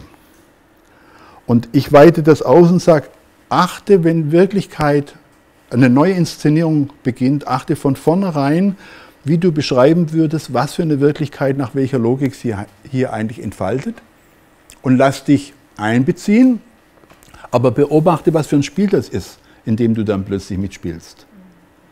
Und stelle dieses Metabewusstsein zur Verfügung, dass beide einen Lernprozess bezogen auf die Analyse dieser Wirklichkeit machen können. Also es geht nicht darum, äh, zu denken, der andere will irgendwas Ungutes machen. Der entfaltet seine Wirklichkeit, wie er sie halt entfaltet. Manchmal weiß er gar nicht, warum und wie. Und unsere gemeinsame Aufgabe ist Learning Conversation, dass wir lernen zu studieren im Entstehungs, in der Entstehungsphase von Wirklichkeiten, was sich da äh, verwirklicht und, nach, und welcher Logik das folgt. Weil dann ist die Chance, dass wir da äh, in eine parallele Wirklichkeit umswitchen können und andere Wirklichkeiten stattdessen aktivieren können, wird einfach immer größer. Und deswegen, ihr habt es ja gestern gesehen, ist so, wenn ich dann Dinge erlebe, von denen ich merke, die lassen mich nicht los, ähm, dass ich dann, ich weiß aber nicht, wie ich daraus eine Diagnostik oder eine Intervention machen soll, dass ich die dem anderen einfach als Beobachtung zur Verfügung stelle. Ich merke, dass, obwohl wir beide uns bemühen, ein Verständnis dieser geschilderten Situation hervorzubringen, merke ich, dass eigentlich meine, meine Konfusion dass ich das Gefühl habe, ich verstehe das nicht und zunehmend das mich schlecht fühlen, dass ich es nicht verstehe und meinen, ich müsste mir was einfallen lassen, dass ich es trotzdem verstehen kann, dass es in mir immer stärker ist. Und da würde ich dir keinen Dienst tun und würde mir keinen Dienst tun. Und äh, wenn ich das dir so schilder, dass das in mir passiert und dass ich aus der Brille betrachtet uns da folgende Wirklichkeit entfalten sehe, was weißt du darüber? Kennst du das von anderen Bühnen, von anderen Zusammenhängen? Was hast du bisher schon gelernt? Hast du Informationen aus deiner Innensteuerung, die ich von außen nicht sehen kann? Kannst du die mir bereitstellen? Wenn ich dir das so sage, welches Bild entsteht dann in dir? Kannst du es zurückverfolgen? Gab es da Weichenstellungen und, und, und? Und das gibt dann eine gemeinsame Analysebasis, sich entfaltende Wirklichkeiten in der Entfaltungsphase zu identifizieren. Weil Wirklichkeiten neigen dazu, höchste Plausibilität zu gewinnen und alle in eine kollektive Trance zu, zu verfangen. Also wenn das erstmal etabliert ist und vielleicht in Unternehmen sich viele Jahre gewohnheitsmäßig immer in gleicher Weise etabliert hat, halten alle das für die objektive Wirklichkeit. Obwohl es nur eine gewohnheitsmäßige kollektive Trance ist und alle Beteiligten tragen dazu bei, diese Trance wieder zu errichten, wissen aber nicht, dass sie es tun und wie sie es tun. Und für uns ist wichtig, dass wir lernen, das zu beobachten, wie wir Wirklichkeit kreieren. Dass wir es tun und wie wir es tun. Das erhöht unsere Freiheiten zu wählen, welche Wirklichkeiten wir äh, hervorbringen wollen. Und wer Organisationsberatung macht, aber in, in, Eheberatung und so ist das Gleiche, weiß, dass es meist ungeheuer viel schwieriger ist, langjährige feste Gewohnheiten wieder aufzulösen, als in als anfänglich dafür zu sorgen, dass überhaupt erst gleich sich eine vernünftige Art der Wirklichkeitsentfaltung äh, etabliert, weil man dann darauf zugreifen kann. Und was ich immer mache, ist, dass ich mit einem Klienten zuvor ein Arbeitsbündnis auf einer Metaebene mache. Erst wenn wir uns als Lerngemeinschaft etabliert haben, wenden wir uns dem Thema zu, weil in dem Thema kann man sich leicht dann verfangen in was und dann ist gut, dass, äh, und das kann dann auch konfliktär werden, weil wir beginnen dann die Rollen dieses Dramas, über das berichtet wird, zu spielen. Und innerhalb dessen ist eine, ist eine Lernverständigung oft relativ schwieriger. Wenn ich aber bereits ein Lernbündnis etabliert habe, gesagt, lass uns mal das wieder so stehen und lass uns darüber reden, was bisher gelaufen ist und was wir darüber wissen. Also es verändert auch die Kontraktbildung und den, den seelischen Kontrakt, für die, für äh, die den Rahmen der, Gemeinde, der Zusammenarbeit bildet. Ja? Schwingen ja auch Unternehmen miteinander in Resonanz, nehme ich jetzt. Ja. Und ein Unternehmen ist ja eine Summe von oder eine Ansammlung von Individuen, ja. die wieder mit einem Gegenüber schwingen. Ja. Wie beeinflusst man da? Da gibt es, also das, Heinz und Förster würden sagen, es gibt keine instruktive Beeinflussung. Also es gibt keine Möglichkeit, das vollständig zu beschreiben oder, oder instrumentell zu beeinflussen, sondern allein, dass wir alle wissen, dass das so ist, gibt uns ein anderes Verständnis, dass wir Kulturstätten brauchen, wo auf den verschiedenen Ebenen in abarbeitbarer Form immer wieder Beobachtungen zusammengetragen werden, um zusammen zu studieren, was da wohl passiert. Aber es kann, nicht es kann keine einzelne Instanz so einen komplexen Prozess beschreiben. Aber wisst ihr, äh, es wird, äh, diese, das wird manchmal von Leuten, die es gern instrumentell hätten, als zu kompliziert angesehen. Aber so ein Gehirn ist kompliziert. Es gibt 100 Milliarden Gehirnzellen, die genauso zusammenschaffen. Also da ist jeder Konzern, Konzern ein Waisenknabe dagegen. Und trotzdem kann so ein Gehirn harmonisch funktionieren. Aber es hat etwas mit einer Kultur der Abstimmung und der Klärung äh, und, das Aus, und, und der geordneten Resonanzbildung über alle Instanzen und Gehirnteile, über alle äh, beteiligten Personen und Unternehmensteile hinweg zu tun, aber man muss dafür die Instrumente schaffen. Hier haben die sich irgendwie in unserem, äh, in unserem Gehirn geschaffen. Wir wissen nicht, wie das geschieht. Um ein kulturelles Gehirn zu schulen, brauchen wir eine Didaktik. Wir brauchen eine Lernkultur, die geeignete Formen anbietet, dass dieses Gehirn sich selbst begreifen kann. Da kommen wir dann nachher noch dazu bei, bei unserem Begriff Systemlernen. Aber wir müssen dann die Illusion aufgeben, irgendjemand könnte so komplexe Mechanismen äh, überhaupt zutreffend oder vollständig oder plausibel beschreiben. Wir wissen es oft einfach gar nicht. Trotzdem müssen wir eine Ordnung herstellen und dazu brauchen wir Klärung des Beobachterstandpunkts, Klärung der Rollen, Klärung der Kontexte und so weiter, sodass das überhaupt didaktisiert werden kann. Wenn wir alles irgendwie betrachten wollen, dann verlieren wir uns völlig in dem Knäuel.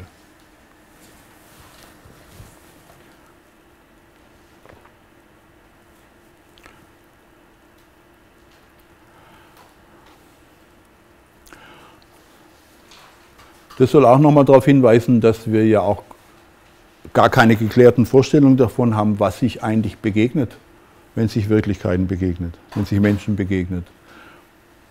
Wenn ich sage, da begegnet sich Verhalten und wenn das nicht gut läuft, brauche ich, dann brauche ich dann einen Verhaltenstherapeuten, ist klar.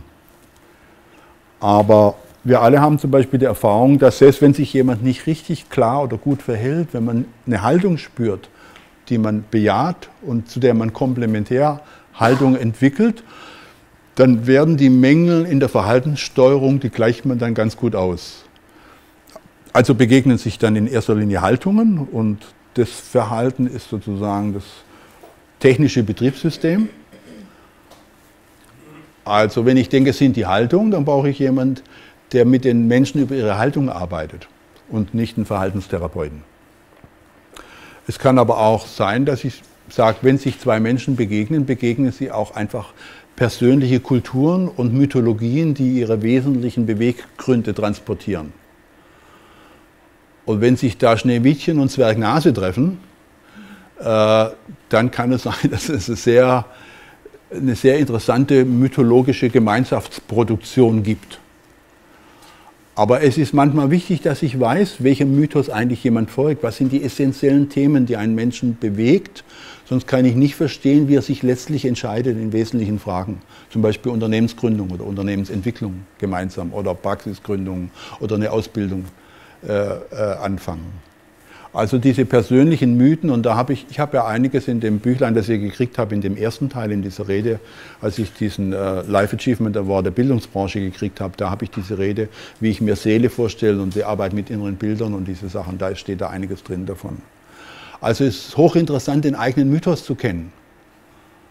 Also das Bild vorne drauf ist kein Zufall, denn ich wollte mal Zirkusdirektor werden als Kind.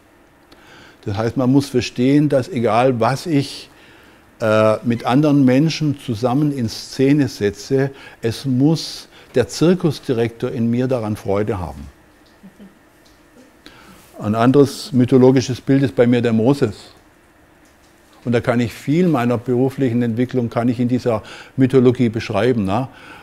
Moses, der gedacht hat, auf ins gelobte Land, Leute folgt mir, die Ägypter beuten euch bloß aus, auch wenn ihr hier an den Töpfen von, mit Fleisch bei denen kriegt, aber ihr seid unfrei. In der Annahme, wenn, die, wenn ihnen das klar wird, fällt es ihnen wie Schuppen von den Augen und sie folgen mir auch durch die Wüste um das gelobte Land, ein Sinnbild für das, was wir sein könnten. zu folgen. Und Moses stürmt los und merkt nach 50 Kilometern, dass keiner mitgegangen ist, weil die, die Fleischtöpfe doch interessanter waren oder weil sie so ungemütlich gar nicht fanden. Und äh, dann ist er ja sehr herrisch und böse geworden. Also ich kann viel zum Beispiel mit meinem Verhältnis zur TA-Gesellschaft in meinem Bild der Lebensentwicklung von Moses wiederfinden. Und äh, entsprechend, ja, irgendwann habe ich entschieden, äh, also erstens, ich bin erfolgreicher als Moses, ist Moses. Irgendwann kommen wir an und nicht so viele Irrungen und Grausamkeiten unterwegs. Aber noch wichtiger war mir, und dann, wenn es rübergeht ins gelobte Land, gehe ich mit, im Unterschied zu Moses. Und das ist mir gelungen. Also mein, mein Institut, die Stiftung, all das, wir sind eigentlich übergesetzt in ein von anderen betreutes, gelobtes Land. Aber ich bin nicht zurückgeblieben einsam auf dem Berg, sondern ich bin, darf mit und bin mit dabei. Also das sind jetzt natürlich narrative Konstrukte, mit denen ich erzähle, was mir im Leben wichtig ist. Aber manchmal ist es wichtig, wenn es um existenzielle Beiträge zum Schaffen von Wirklichkeit geht, dass ich weiß, was für mythologische Hintergrundgeschichten äh, erzählen davon, was einen Menschen, wenn es wirklich wichtig ist, äh, welche Weichenstellung machen lässt. Waren die, die dann schlussendlich im gelobten Land ja. sind, nicht die, die du dachtest, dass sie hätten mitkommen sollen? Ah, ich musste halt zurück und musste nach und nach überzeugen und ich musste und ein paar Wunder machen, wie die Quelle aus, die Quelle, die, die, deswegen, deswegen muss, muss man als Referent muss man auch lernen, so ein bisschen das Wunderbedürfnis der Menschen anzusprechen. Und dann gibt es die Geschichte mit dem goldenen Kalb, wir könnten uns da sehr lange dran aufhalten. Dann gibt es auch die, dann gibt ja, der Moses hat ja äh, einen Bruder, der der Didaktiker ist, der sagt, du musst verstehen, dass die Leute ein goldenes Kalb brauchen. Die können nicht von diesen Visionen, von, die dich treiben können, damit können die nicht umgehen. Du musst ihnen was liefern, was sie anbeten können. Die brauchen das als Übergang. Aber der, Jos, der, der Moses war da sehr gewalttätig. Als er zurückkam, hat er ja, ist ja ein Massenmörder geworden, hat ja alle meucheln lassen, die sozusagen den Rückfall in die alten äh, didaktischen Bedürfnisse hatten. Deswegen bin ich so nett zu Leuten nach wie vor, die mit dem, was ich zu erzählen habe, nicht viel anfangen können, weil ich weiß, die brauchen eine Zwischenstufe, an der sie sich festhalten können, weil sie sonst nicht den Mut haben, aufzubrechen zu dem, was eigentlich hinter dem ist, woran sie sich festhalten können. Also äh, der, der, der Konflikt zwischen Moses und Aaron, den, den versuche ich didaktisch zu lösen bei unserem Institut. Also ihr merkt es, da wird es dann auch lebendig und ich merke auch in euren Gesichtern, wie, das ist eine Sprache, in der man ganz viel verstehen kann, was, was einen Menschen treibt und was eine Kultur ausmacht und, und ob man sich dazu in Beziehung setzen mag oder nicht. Also Beziehung ist, äh, äh, äh, begegnen sich Mythen. Und jetzt habe ich sie vordergründig gemacht, ne? aber ich habe das Gefühl, ich würde mal vermuten, dass von vielen, es ging sofort ein, ein Grinsen durch manche, dass sie sagen, äh, er hat es bisher nicht gesagt, aber es stimmt genau, ich habe es gewusst. Das heißt, ihr habt, das, ihr habt hintergründig meine Mythologien oder einen Teil meiner Mythologien wahrgenommen, habt aber keine Sprache dafür gehabt. Und als ich euch die Sprache geboten habe, hat sich euer intuitiver, hintergründiger Eindruck, weil wenn er passt, äh, sofort mit dieser Sprachfigur verbunden. Und das ist natürlich ein großartiges Kommunikationsinstrument für Teamentwicklung, für Unternehmensentwicklung, für Paarentwicklung, für Familienentwicklung. Dass man's, und dafür haben wir, arbeiten wir viel mit geleiteten Fantasien und, und Arbeit mit inneren Hintergrundbildern, damit ein seelischer, mythologischer Kontrakt zwischen den Menschen zustande kommt. Weil wenn es nicht ein zueinander passendes System der Hintergrunddämonen kommt, dann ist wirklich schwierige Kulturentwicklung zusammen nicht zu stemmen. Und Frankreich hat ja zurzeit, einigt sich ja zurzeit in einer, in einer, neuen Mythologie und das entwickelt ja eine unglaubliche Kraft. Wie weit die trägt, muss man da mal sehen.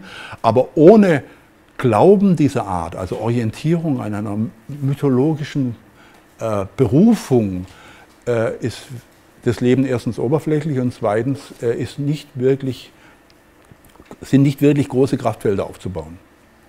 Höchstens Profit zu machen.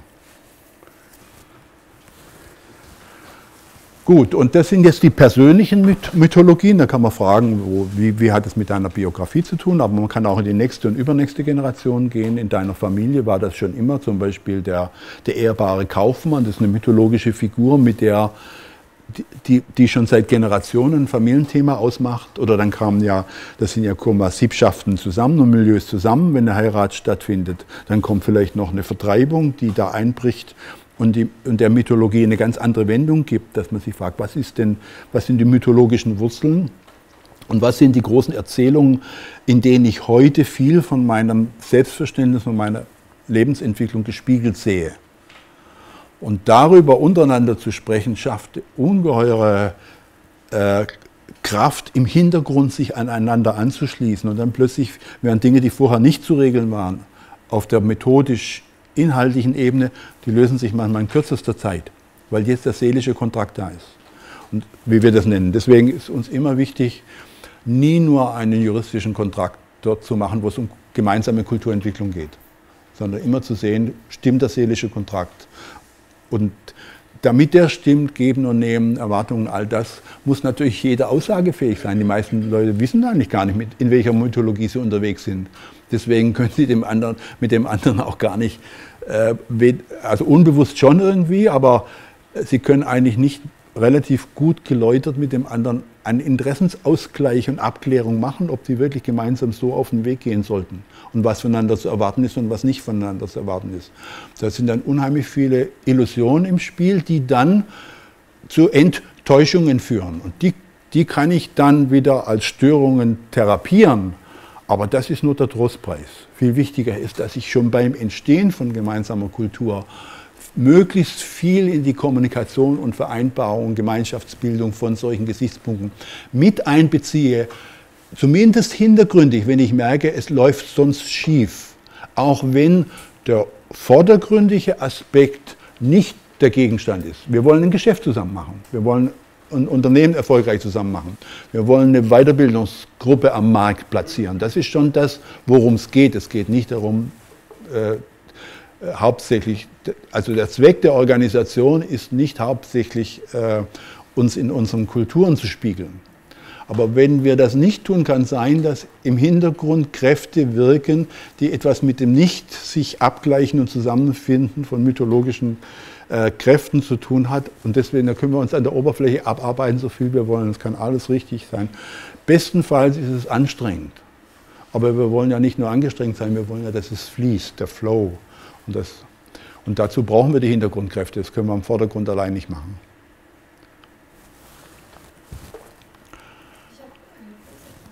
Ja? Die Hintergrundkräfte, ist, aber ist das mehrheitlich von Mythen gesteuert, von Mythologie, oder ist das auch das ist, so eine, das ist jetzt wieder eine, so eine verdinglichte Beschreibung. Mythen steuern gar nichts. Sondern es gibt irgendetwas, was uns offenbar mitsteuert und wir versuchen das zu verstehen. Und wir verwenden mythologische Bilder, um, um, uns, um uns selbst das verständlich zu machen und miteinander darüber kommunizieren zu können. Aber es gibt keine Mythen, die irgendwas steuern. Das sind keine Dinger. Das sind Beleuchtungen. Also und am Ende wissen wir nicht, ob es sowas gibt. Aber wenn es uns hilft, uns so zu verständigen, dass wir sichtlich besser zueinander kommen als ohne das, dann hat es programmatisch höchsten Nützlichkeitswert. Bei Religion ist das auch nicht anders. Das stimmen ja auch alle nicht.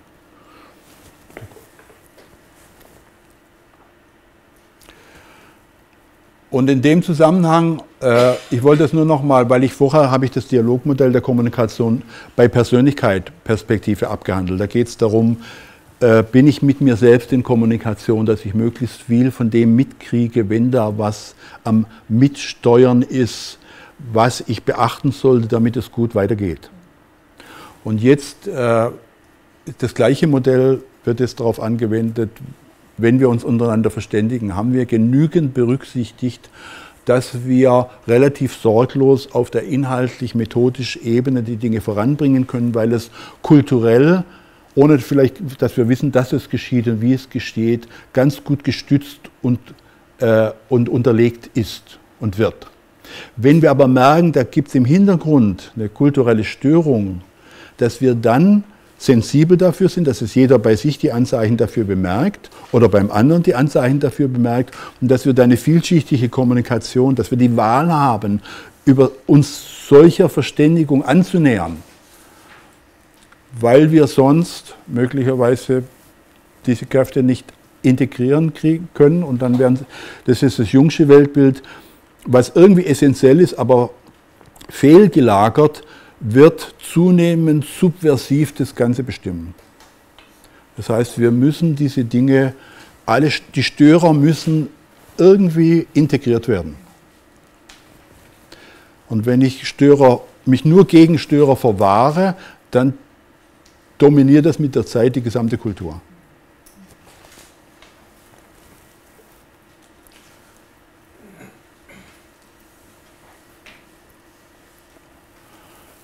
Dazu brauche ich jetzt im Moment, ich habe jetzt ja schon viele Meta-Betrachtungen eingestreut, die brauche ich jetzt im Moment nicht weiter einstreuen. Äh, was euch aber vielleicht äh, jetzt plausibel geworden ist, das ist, gilt nicht nur für Theater, das gilt für alle Professionellen, dass wir keine konventionellen Perspektivenwahl vornehmen, dass wir nicht, also der Unterschied zwischen Metaprofessionalität und Handwerk ist die, ich gehe irgendwo hin und lerne Schemata, wie was abzuarbeiten ist und dann arbeite ich mit den Schemata ab und das war's dann. Und wenn Dinge dann nicht in das Schema passen, dann mache ich sie passend oder ich kann halt nichts tun. Und wir nennen das Metaprofessionalität, dass wir äh, verstehen lernen, äh, uns mit der Sache auseinanderzusetzen und die Schemat und, und möglichst Schemata sozusagen schon benutzen, probeweise. Wenn ich das benutze, kann, gibt mir das was. Aber wenn es nicht passt, gerade wieder loslassen und nicht mich verfangen, dass die Wirklichkeit in die Schemata gepackt ist. Und dann habe ich eine Wirklichkeit, die kriege ich mit keinem mir leicht zugänglichen Schema äh, sinnvoll beleuchtet. Und deswegen brauche ich so Gespräche wie gestern, dass ich sage, wir haben jetzt folgende Beobachtung. Wir probieren rum. Wir experimentieren verantwortlich gemeinsam und dann irgendwann äh, poppt vielleicht plötzlich eine Erklärung auf, die uns verständlich macht, wie wir das beschreiben können, was da passiert. Ob die richtig ist, weiß ich nicht, aber wenn es eine Erklärung ist, die uns hilft, die, die Sache weiterzuentwickeln, ist es auf jeden Fall eine nützliche Erklärung. Und dass wir einfach wissen, dass wir Perspektiven einnehmen und die nicht einfach nur gewohnheitsmäßig einnehmen.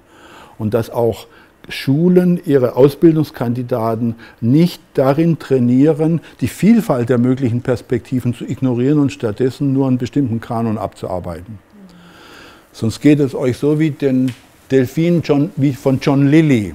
Ich weiß nicht, ob jemand noch John Lilly gehört, in den 70er Jahre Wissenschaftler äh, und LSD-Freak. Und der war in der Delfinforschung. Und die haben den Delfinen beigebracht, bestimmte Kunststücke zu machen. Wer mal so eine Show gesehen hat, das ist wirklich beeindruckend.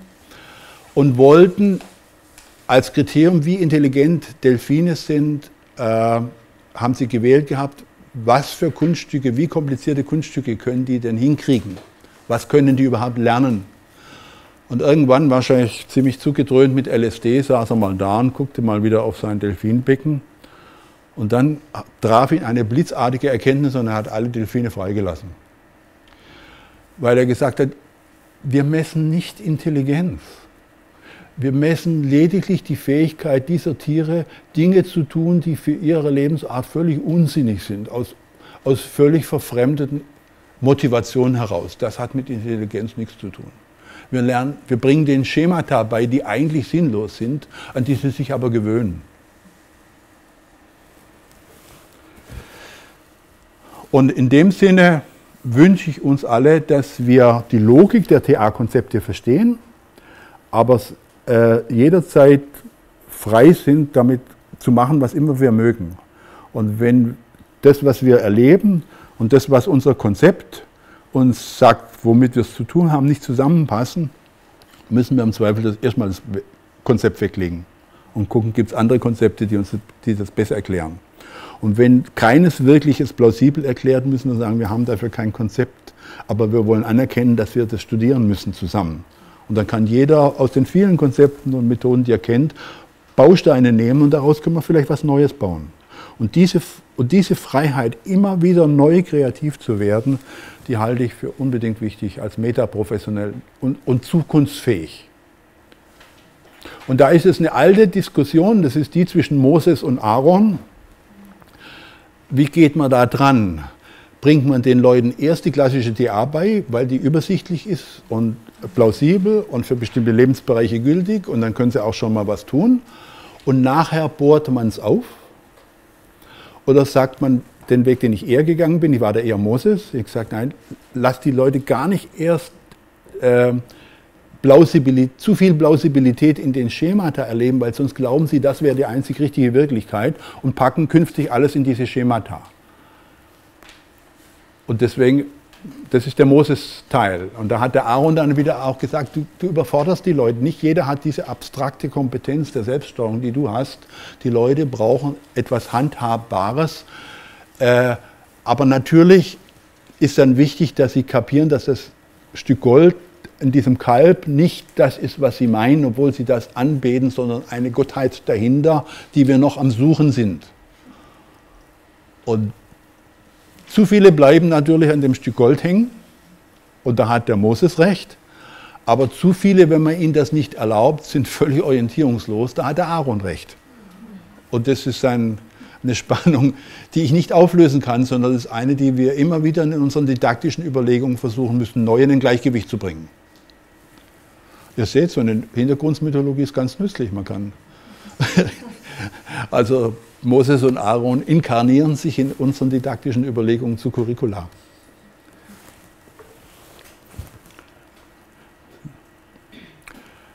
Und damit wäre ich mit dem Kommunikations- und Begegnungsteil erstmal durch.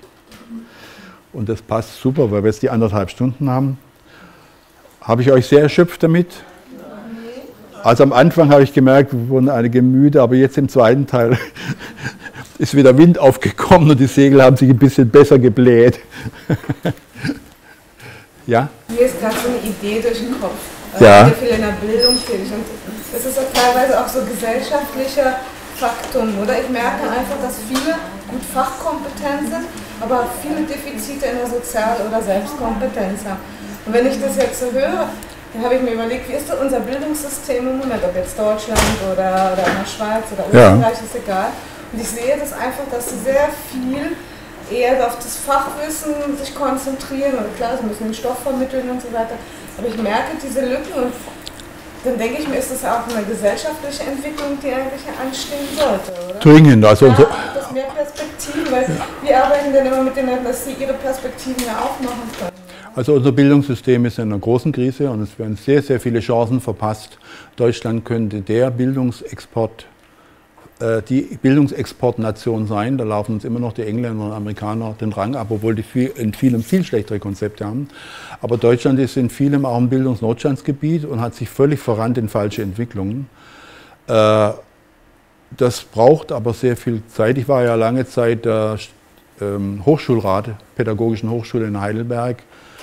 Äh, ich habe, obwohl das eigentlich eine Hochschule ist, die für Bildung da ist, festgestellt, dass die ganze Institution derartig verkastet ist in Gewohnheitsstrukturen und politischen Ränkespielungen und Fehlkonstruktionen finanzieller Art, struktureller Art, dass sie fast nicht reformierbar ist. Selbst ein Hochschul, die Hochschul, der Hochschulrat war eigentlich eine relativ mächtige Instanz.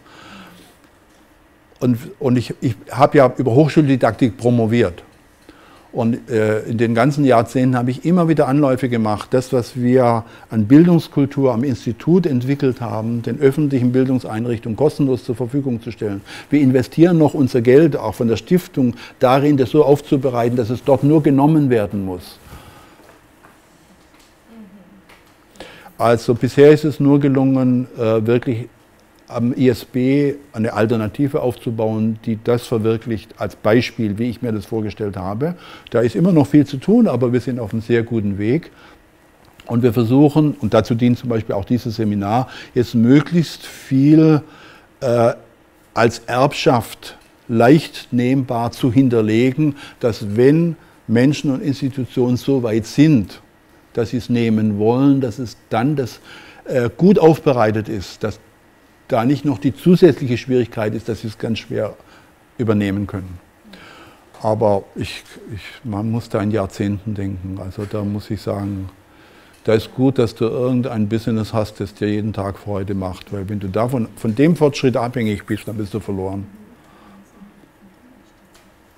Jetzt machen wir die Pause. Wir machen dann weiter, würde ich sagen, 10.30 Uhr, dass, dass ihr jetzt ein bisschen Ruhe habt.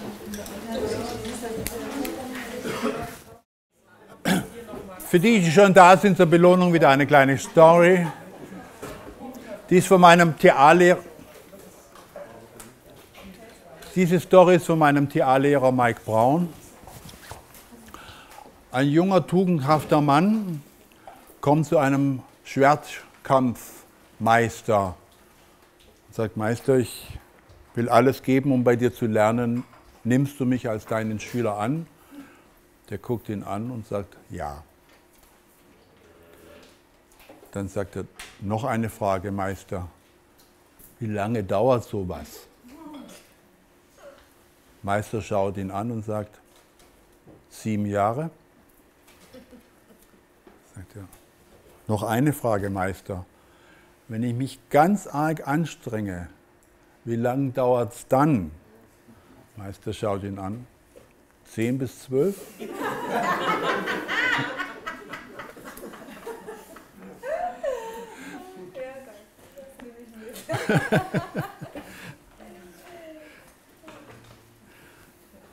Gibt es äh, zum vorigen noch eine Nachfrage, was wir vergessen jetzt doch haben, die Synchronizität. Ich wurde nochmal nachgefragt. Ich habe gesagt, ja, bei Resonanz sage ich noch was über Synchronizität. Äh, also wenn euch das Stichwort interessiert, studiert das ein bisschen. Es gibt ein sehr schönes Video von Hartmut Rosa über Resonanz. Äh, und ich habe das ja in dieser Gehirnmetapher schon mal gesagt, es geht davon aus, dass wir studieren, dass wenn etwas in Schwingung gerät, äh, auf an, in anderen Wirklichkeitssphären, das kann auf anderen Bühnen, im Berufsfeld, äh, in Organisationen sein, aber Robert Sheldrake würde auch sagen, in, bei anderen Menschen in anderen Zeiten sein. Dann gerät dort ein Feld in Schwingung, wo ähnliche Erfahrungen äh, gemacht werden, Zuständigkeiten da sind und sich versammelt haben. Und das bildet zusammen ein Resonanzfeld über ganz viele Wirklichkeitsebenen. Das heißt, äh, ich bin umso kompetenter und wirksamer, je mehr ich selbst konsistente und kraftvolle Resonanzen erzeugen kann, die in anderen Feldern, die für die Essenzen dessen empfänglich sind, auch Resonanzen erzeugen. Aber ich muss im Organisationsbereich äh, zum Beispiel auch lernen, äh, die, die Gegebenheiten dort zu berücksichtigen, dass essentielle Schwingungen dort auch entstehen können. Also da, das, äh, die Medien dieser Resonanzschwingungen sind da oft andere als in meiner privaten Psyche zum Beispiel. Und äh, deswegen sollte ich also mich nicht, mir es nicht so bequem machen zu sagen, wenn ich nur mit mir selbst im Reinen bin, dann erzeugt es Resonanz genug, dann werden, wird auch sicher ähm, äh, Monsanto demnächst mit sich in Reinen sein, weil ich ja richtig, mache eine richtig starke Eingabe ins globale äh, Resonanzfeld. Nein, da, braucht, da müssen wir verstehen, wie durchaus ähnliche, also essenzähnliche Resonanzen, wie die woanders aussehen und durch was die in Bewegung gehalten werden können, beziehungsweise wodurch die gedämpft werden und wie man sie freisetzen könnte. Und als Schmankel nebenher, Robert Sheldrake geht ja davon aus, dass unser Gehirn gar nicht der Speicher ist für Erinnerungen, sondern dass es einen Speicher außerhalb gibt. In der heutigen Metapher würde man sagen, es gibt eine Cloud und dass, wenn ich etwas erwerbe, wird das statt ins Langzeitgedächtnis in der Cloud abgelegt. Und wenn ich mich mit was beschäftige, erstreckt sich meine, also das Gehirn ist wie ein Sender und ein Empfänger, ist kein Speicher. Kann man glauben oder nicht, aber er ist wirklich sehr sorgfältig begründet. Hört euch mal Vorträge von Robert Sheldrake an mit der damit verbundenen Wissenschaftskritik. Die Metapher finde ich aber schön, weil wenn ich mich mit einer Sache auseinandersetze, dann logge ich mich ein in die entsprechenden Teile dieser morphogenetischen Felder, in der von anderen Menschen Erfahrungen abgelegt sind und kann mir die ziehen. Ich erkenne die aber oft nicht als die von anderen, sondern denke, das muss irgendwo, wenn ich es überhaupt erkenne, was es ist, es muss in meiner eigenen Psyche oder Biografie, und wenn es hochkommt, vor, vorgeburtlich oder über die letzten drei Generationen gelagert sein. Reson diese Resonanztheorie geht aber davon aus, nein, es kann auch sein, dass ich sowohl dort Dinge ablege, als auch auf Dinge zugreife, die etwas mit Ähnlichkeitsrelationen zu tun haben. Zusammen macht das Sinn. Ich finde es sehr tröstlich, weil dann lohnt es sich auf jeden Fall noch sehr viel zu hinterlassen, weil das ja nach einer Cloud gespeichert ist. Und die übernächste Generation, auch wenn sie mich nicht kennen, wenn sie am gleichen Punkt der Auseinandersetzung ist, haben Sie einen tollen Einfall, den Sie für Ihren halten, dürfen Sie auch gern. Aber vielleicht sind Sie dann in das Bernd Schmidt-Areal äh, des morphogenetischen Felds geraten und konnten auf dem, was ich mich schon abgemüht habe, an dem Thema äh, aufbauen. Ich, ich finde, dass es zumindest eine ermutigende Metapher ist, ob man das jetzt wissenschaftlich so oder so sieht. Und Jung hat eben äh, schon über den Begriff der Synchronizität gesagt, es gibt, es gibt ja unheimlich viele Geschichten, wo äh, Dinge, die mich mental beschäftigen, dann plötzlich draußen passieren. Also dass es einen Zusammenhang der Stories, die erzählt werden, im psychischen Raum und im physikalischen Raum gibt, obwohl wir in unserem Weltbild ja keine Ursache-Wirkungsverknüpfung uns vorstellen können. Und er sagt, ja, Ursache-Wirkung ist ein Zusammenhangsprinzip. Das andere Zusammenhangsprinzip ist der Sinn. Zusammen macht es Sinn.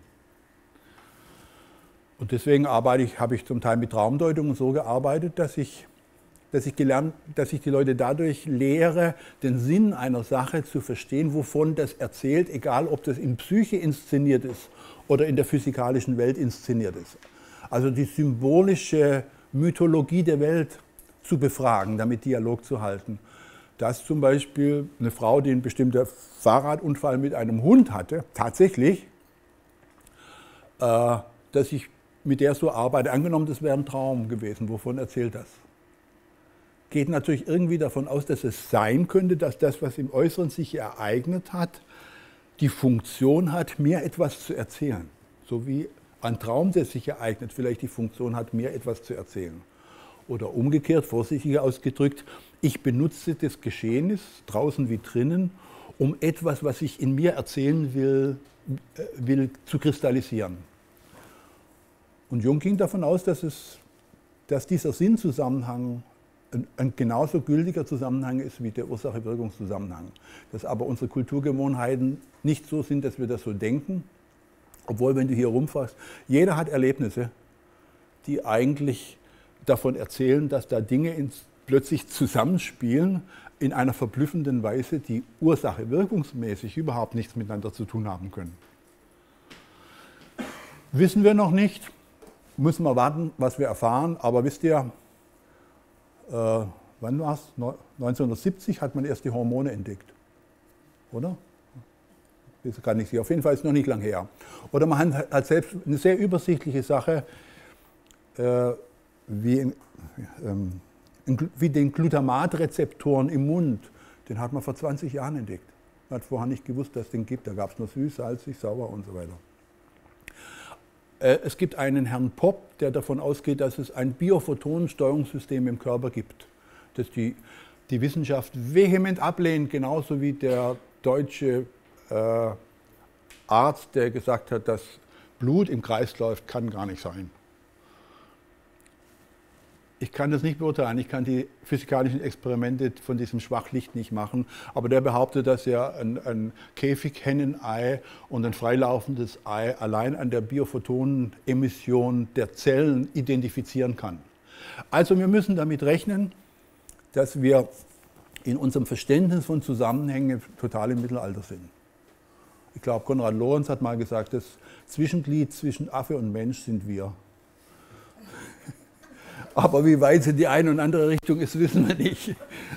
Das heißt, wir müssen einfach immer davon ausgehen, dass äh, wir heute Erklärungen für Dinge liefern, äh, die in 30, 100 Jahren völlig abstrus wirken, die uns aber jetzt helfen, uns zu organisieren.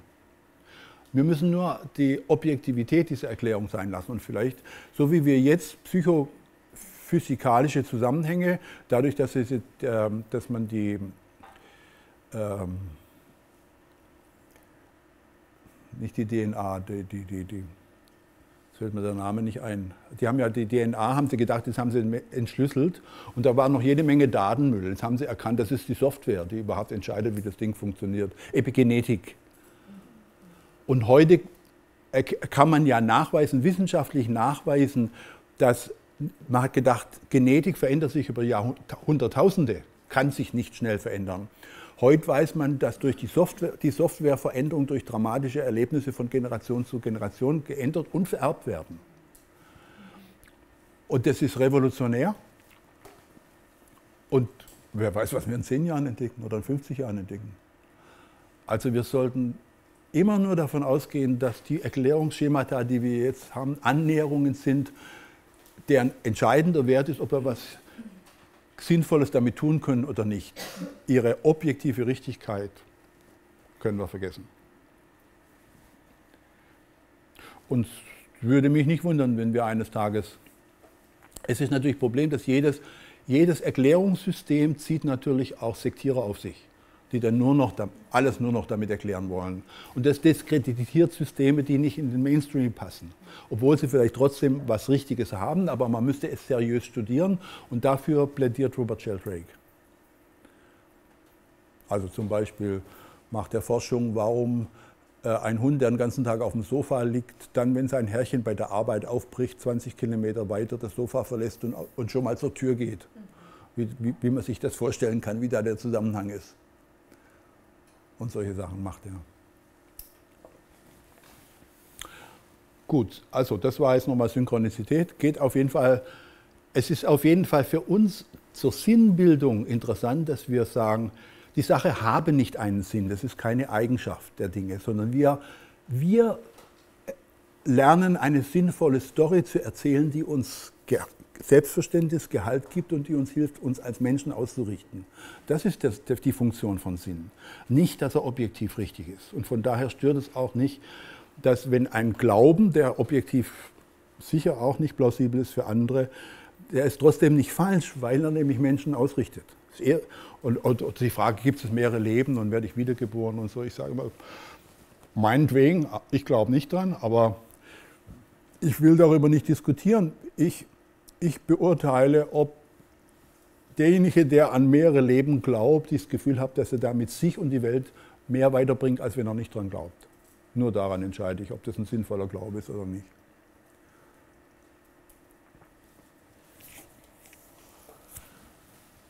So, jetzt kommen wir zu einem großen Kapitel, aber wir haben auch noch Zeit, wir liegen gut in der Zeit, nämlich Wirklichkeitsgemeinschaften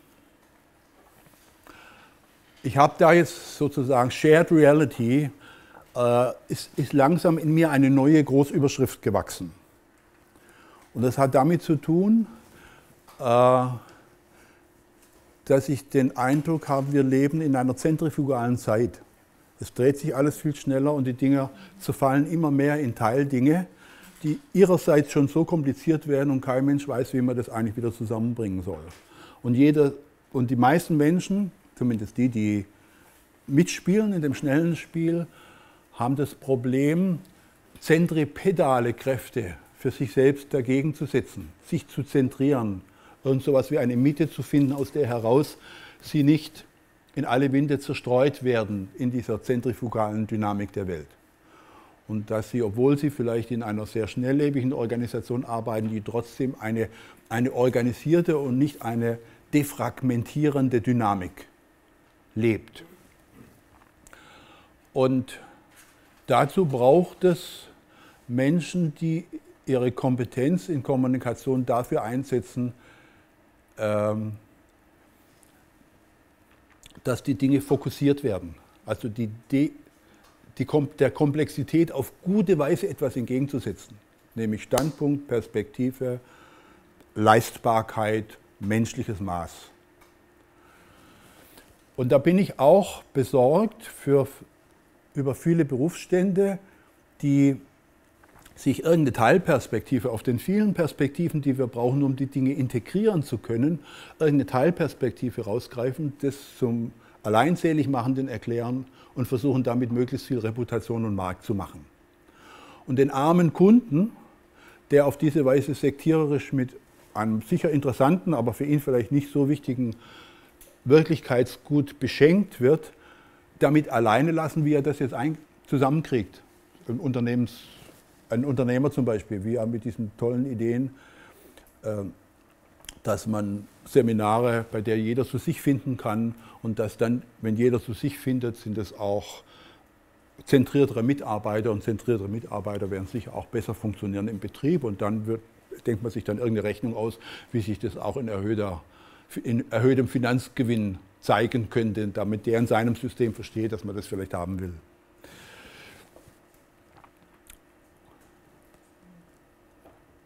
Und der Gerald Hüther, den kennen vielleicht einige, äh, nennt sich Hirnforscher, ja hauptsächlich Vortragsredner und Visionär. Der, äh, hat mit, ich habe mal mit ihm telefoniert und hat, er hat gerade ein Buch geschrieben darüber. Und hat gesagt, Bernd, was würdest du sagen, was ist das, die große Herausforderung des neuen Zeitalters? Und ich habe spontan gesagt, die Verantwortung für Integration. Und das kam spontan aus mir heraus, vielleicht schneller Zugriff auf das morphogenetische Feld. Ich weiß nicht, ob was, was für ein Aristoteles oder sonst wie da vielleicht in dessen Datei geraten bin, deswegen war das gleich da, war gar nicht so falsch. Und äh, da ist was dran, weil wir alle, die ganze Welt ist ja dadurch, dass sie arbeitsteilig und wissensteilig und hochspezialisiert wird, äh, gibt es immer mehr Menschen, die in Spezialdisziplinen ganz viel Wissen, die ganze Energie dort verbrauchen, aber auch alle Aufmerksamkeit dafür wollen. Und es gibt relativ wenige Disziplinen, die sich dafür verantwortlich fühlen, das in ein bewältigbares, integriertes Ganzes zurückzuführen. Und deswegen habe ich den Anspruch an professionelle Machtkonzepte, entwickelt Schulen und Methoden, die integrierbar sind in andere Perspektiven, die euch gemeinschaftswirklichkeitsfähig machen und nicht sektiererisch und ihr holt die Leute raus aus ihren Zusammenhängen, indoktriniert die, jetzt ist ein bisschen polemisch gesprochen, dann sind die total begeistert, weil es ist ja was Wichtiges, was ihr am Zipfel habt. Und dann schickt ihr die zurück und die wissen nicht, wie integrieren. Und entweder entsteht dann eine zunehmende Passungsproblematik mit der sonstigen Welt oder sie verlieren das Ganze und aus Enthusiasten werden Zyniker. Weil sie, und damit wird oft seelischer Goodwill zerstört, indem es in einem Strohfeuer abgebrannt wird. Und wir alle haben die Verantwortung, dieses Feuer in, in äh, Lagerfeuer oder Öfen einzubringen, die langfristig gepflegt werden können, an denen gekocht werden kann, die gegen die wilden Tiere gut sind, äh, die mit Nachschubholz versorgt werden können und an denen ganz viel Gemeinschaft stattfindet. Und äh, das gehört für mich zur professionellen Verantwortung dazu, dass ich als Gütekriterium immer die, die Alltagstauglichkeit und Integrierbarkeit aller Konzepte und aller Qualifizierungsbemühungen propagiere. Und im Coaching-Bereich ist es ganz gut. Ich habe den Slogan geprägt, Coaches sind Zehnkämpfer. Die müssen also eben, die können nicht einen Aspekt rausnehmen und maximieren, das machen manche. Also IT-Coaches, Finanzcoaches, Psychocoaches, die halt Teilaspekte versorgen. Aber jemand, der umfassenden Organisationscoach sein will, der muss eigentlich alle Belange, die von einem Unternehmer oder einer Unternehmerin integriert, gelebt und verantwortet werden müssen, äh, auf die muss er sich beziehen. Und wenn er nur Teilaspekte aufbläht, ist er eigentlich äh, jemand, der das Gegenüber schädigt, auch wenn auf begeisternde Weise. Das hat eine ganze Menge Folgen. Ja. Und natürlich kann, kann, kann, niemand von uns in allen Disziplinen fit sein, sonst wäre er selbst Unternehmerin. Aber wir müssen äh, uns klar machen, was integrierte Gesamtverantwortung für unsere Gegenüber heißt und dann sehr wohl überlegen, was können wir an Ressourcenverbrauch und Aufmerksamkeit verantworten, dass in dieser komplexen Verantwortungsstruktur, in der die stecken, äh, es äh, zumutbar ist, dass sie eine Dienstleistung von uns annehmen, weil sie wirklich bestmöglich aufbereitet ist. Das hat eine ganze Menge Folgen, zum Beispiel für Konzeptentwicklung, für Produktentwicklung.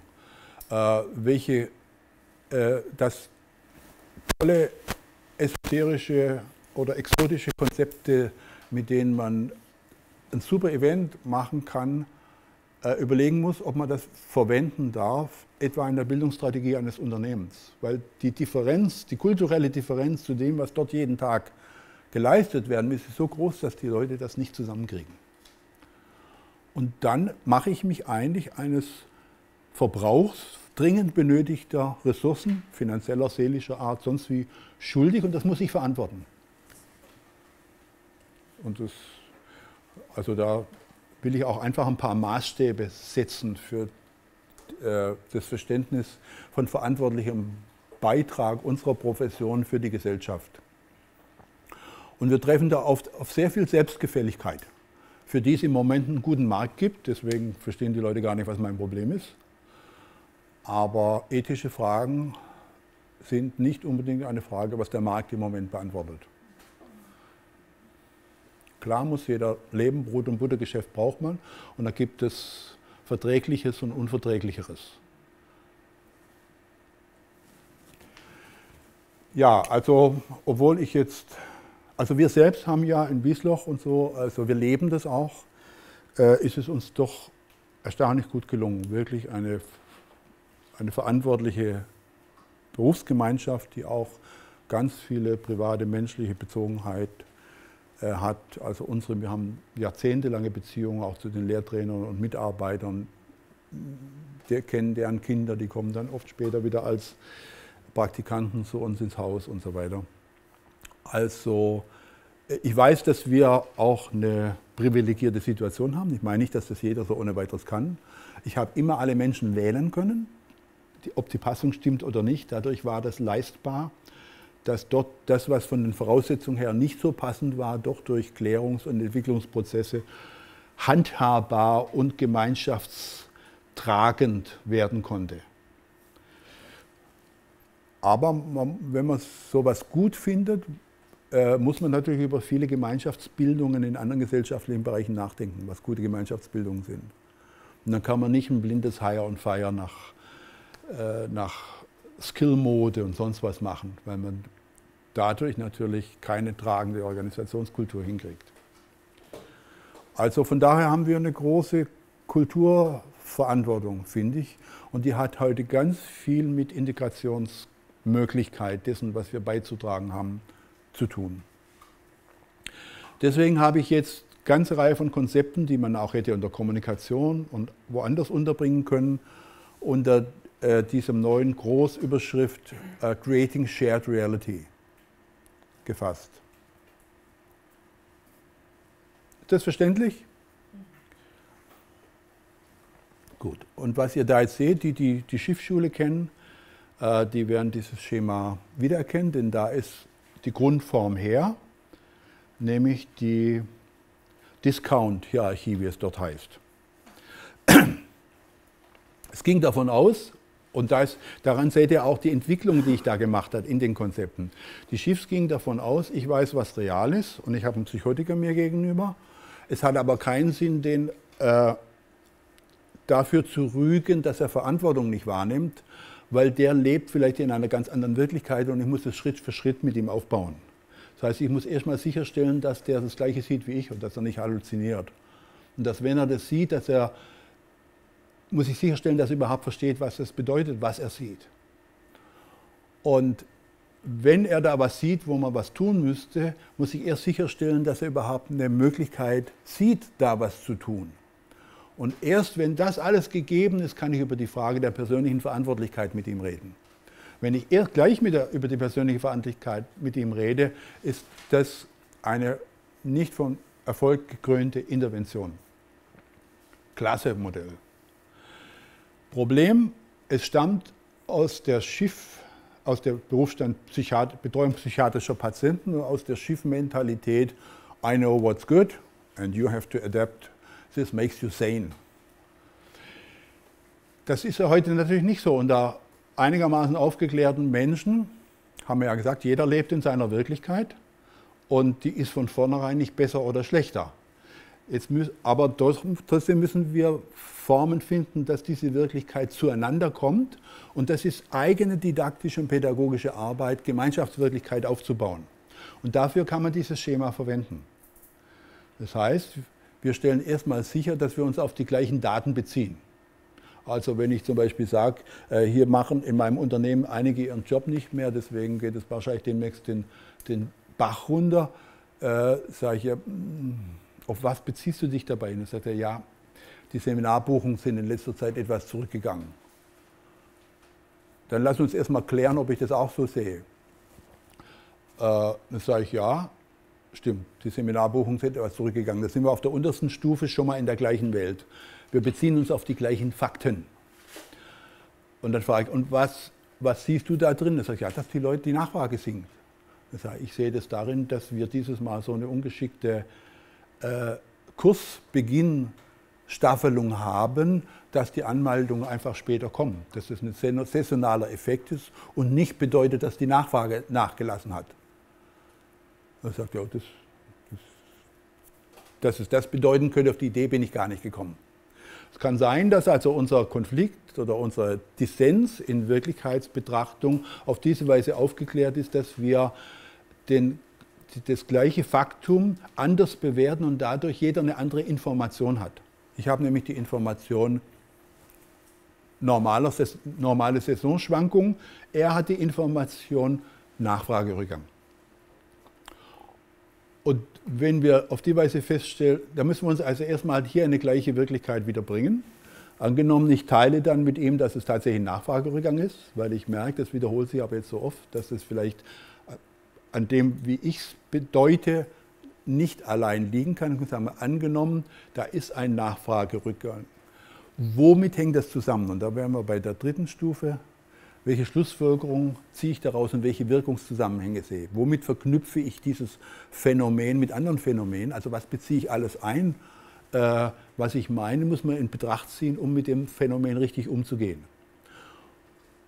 Und äh, dann komme ich zu dem Schluss, im Moment haben wir Konjunkturüberhitzung, die Leute haben keine Zeit für Weiterbildung. Unsere Erfahrung ist, in den letzten Jahren war es oft so, dass wenn die die Leute entlassen, geben sie denen noch als Entlassungsgeschenk eine Weiterbildung bei uns. Oder wenn Freiberufler wieder Luft haben, weil die Aufträge gerade weniger werden, werden auch die Anmeldungen wieder höher. Das heißt, ich sehe andere Wirkungszusammenhänge, während derjenige sagt, ich glaube, ich glaub, Psycho ist out und wir sind überaltert von den Lehrtrainern her und wir müssen modernere, schickere Designs anbieten. Also wir beziehen auf ganz andere Welten und Wirkungszusammenhänge. Und bevor wir uns darüber auseinandersetzen, was denn zu tun wäre, müssen wir da irgendwie in eine gemeinsame Wirklichkeit kommen, weil wir dann sonst von völlig anderen Voraussetzungen her über, über Verantwortlichkeiten und über Rollen und was zu tun ist reden. Und dieses Schema bietet praktisch ein didaktisches Raster, dass wenn Wirklichkeiten nicht zusammenkommen, dass wir gucken, auf welcher Ebene sie nicht zusammenkommen und dass wir eine Reihenfolge formulieren können, mit der wir klären können, wie wir Gemeinschaftswirklichkeit herstellen können. Außerordentlich nützliches Schema. In dieser Welt gibt es natürlich keinen, der das Sagen hat, was wirklich wirklich ist. Das war bei Schiff anders.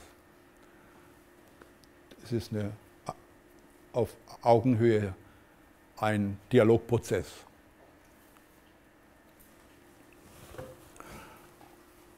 Da gibt es auch einen langen Aufsatz dazu, wie man damit arbeitet. Äh, insbesondere wie der Zusammenhang zu, symbiotischem, äh, zu symbiotischen Dynamiken ist. Also das ganze Symbiosekonzept, also da kommen wir nachher, bei, bei uns läuft es unter dem Begriff Verantwortungsvermeidung. Äh, dafür kann man das brauchen. Da komme ich aber erst nachher dazu, glaube ich, zur Verantwortungsvermeidung, wenn, wenn, wir, äh, wenn wir uns mit Verantwortungsdialogkultur beschäftigen.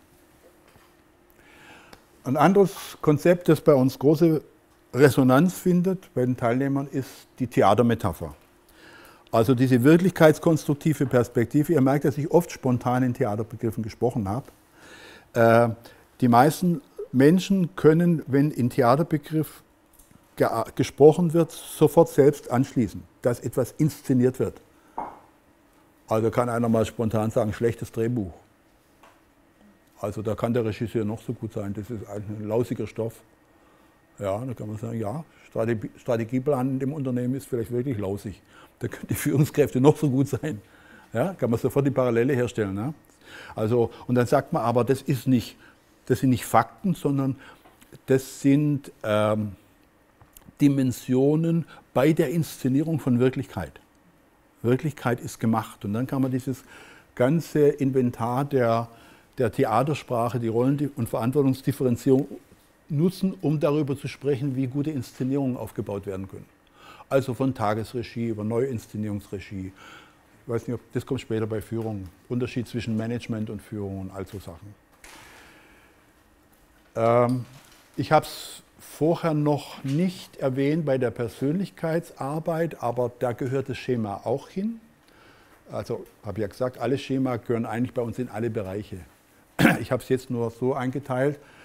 Du, äh, wenn der Umgang mit inszenierten Wirklichkeiten eines Menschen, wenn dazu Spiegelungsprozesse aktiviert werden sollen, äh, äh, ist das Schema äußerst nützlich. Also wir machen Spiegelungsgruppen, die sagen, was sind eigentlich, was sind die Bühnen, die ich immer wieder wähle oder auf die ich gerate?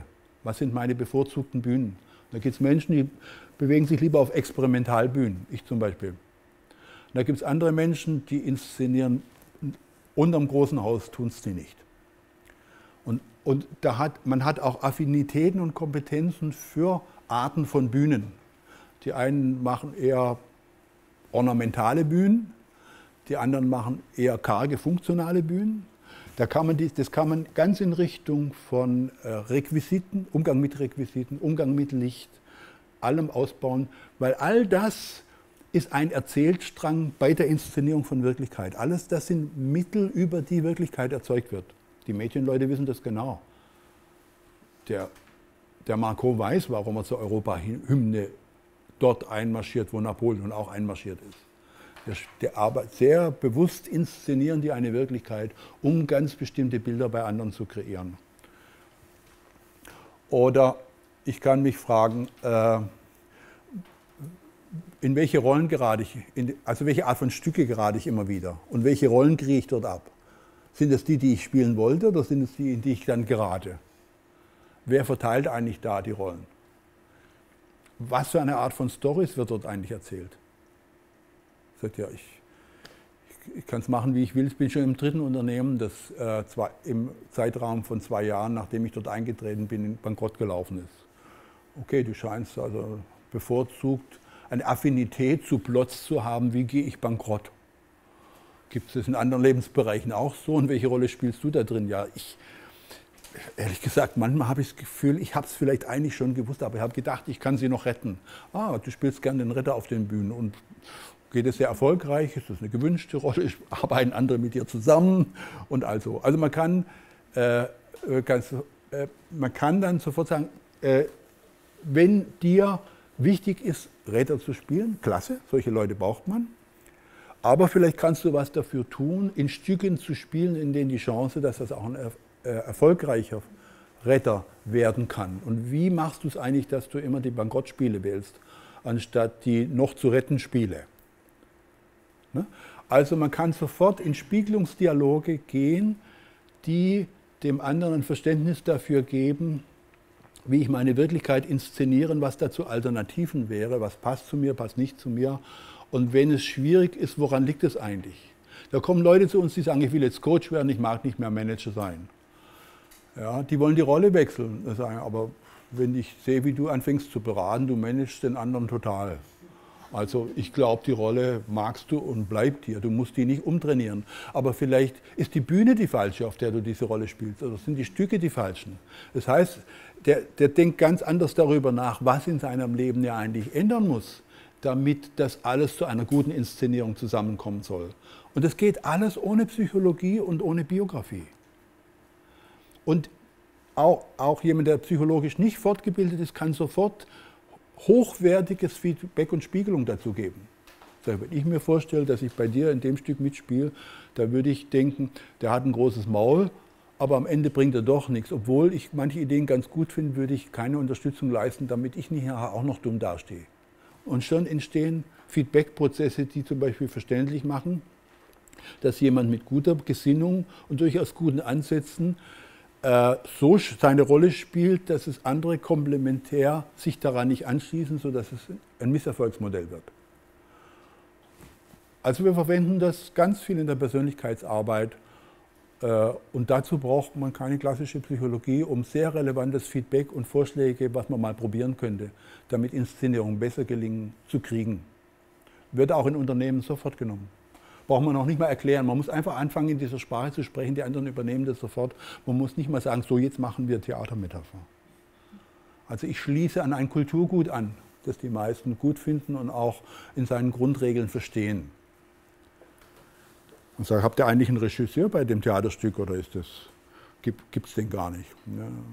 Es gibt ein tolles Drehbuch und ich glaube, nur ein Drehbuch und lauter begabte Schauspieler reicht und so kommt ein Theaterstück zustande. Also alle Erfahrung im Theater sagt, dass je besser die Schauspieler sind, je charaktervoller, umso besser muss der Regisseur sein.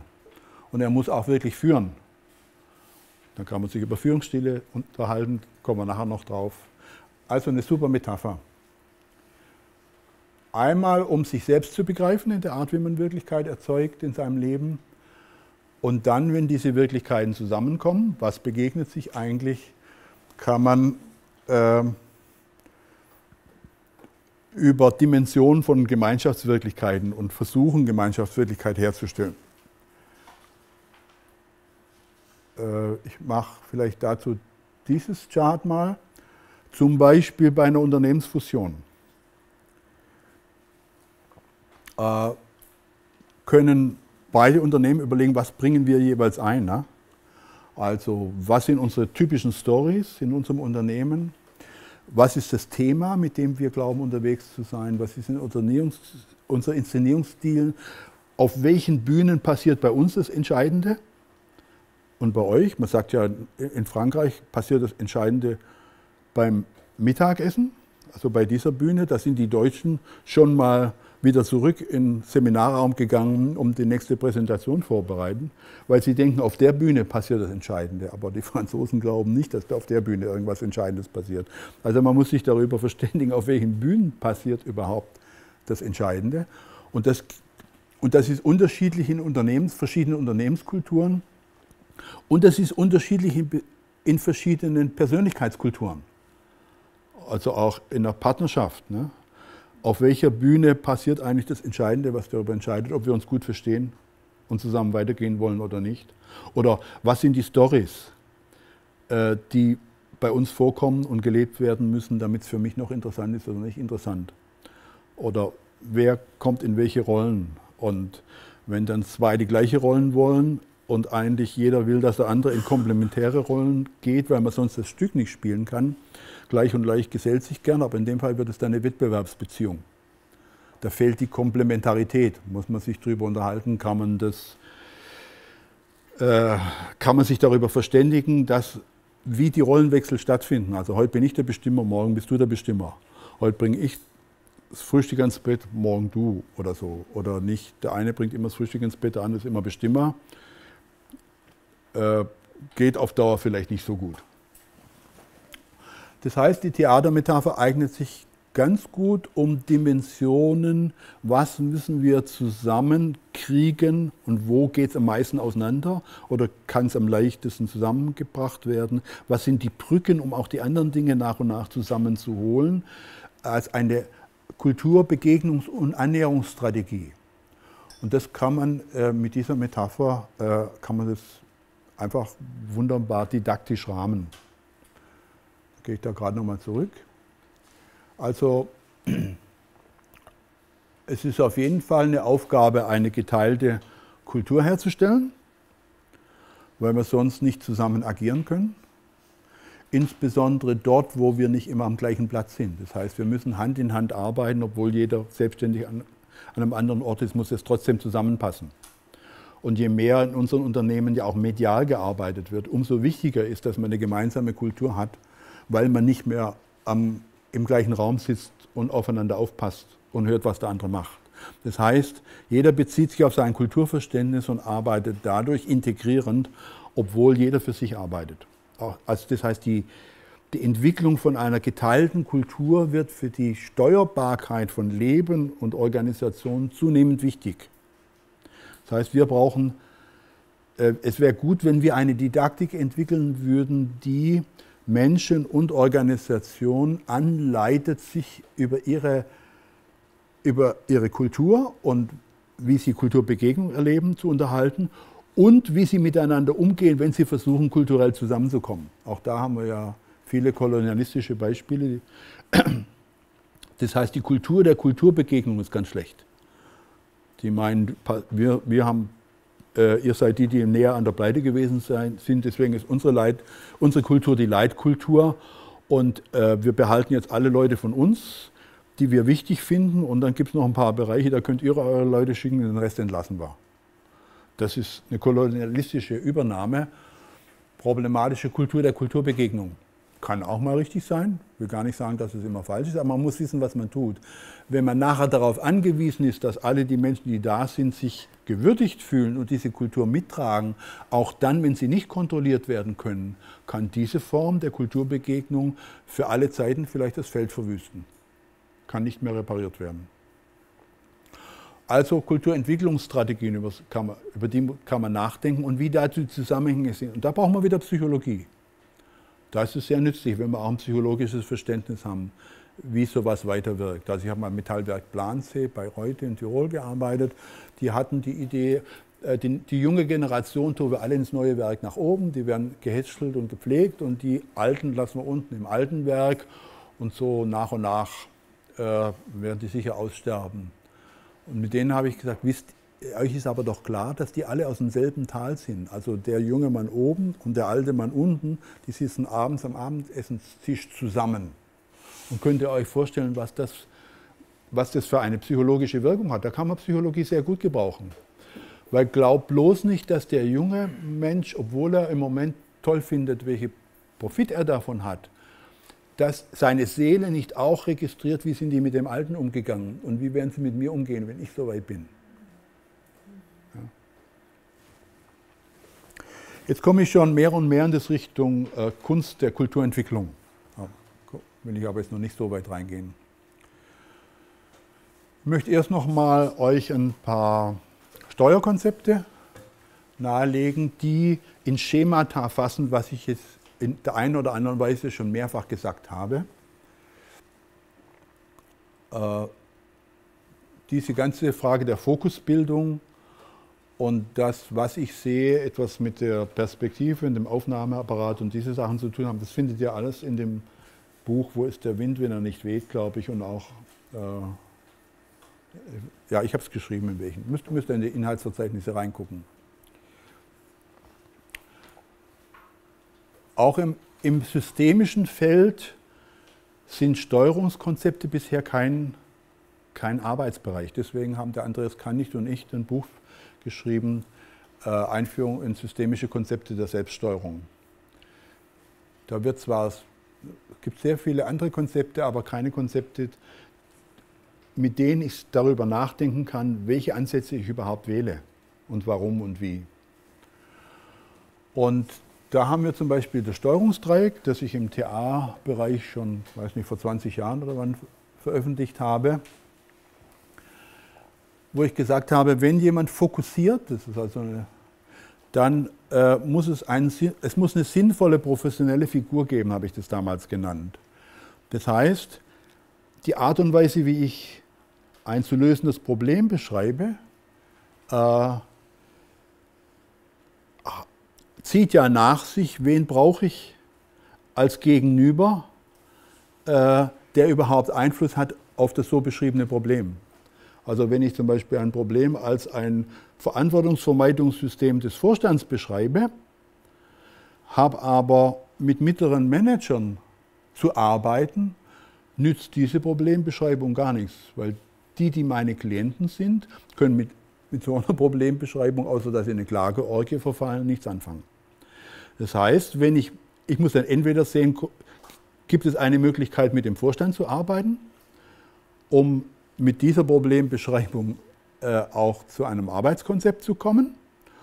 Oder gibt es das nicht, dann muss ich überlegen, wie ich dasselbe Phänomen für die Gruppe, der, auf die ich auch Einfluss habe, beschreiben. Also wie gehen wir damit um, wenn wir äh, wenn bei uns häufig die Erfahrung gemacht wird, oder vielleicht ist es auch nur eine kollektive Erzählung zur, zur, zur Erklärung von Nichtfortschritten, dass die da oben ihre Verantwortung vermeiden.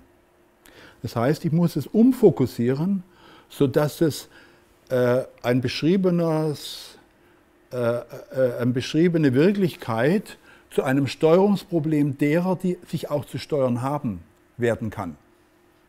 Das heißt, der Zusammenhang zwischen Fokusbildung und welche Klienten ich habe und in welchem Umfeld die tätig sind und in welchen Rollen ich die da habe, hat einen unmittelbaren Zusammenhang.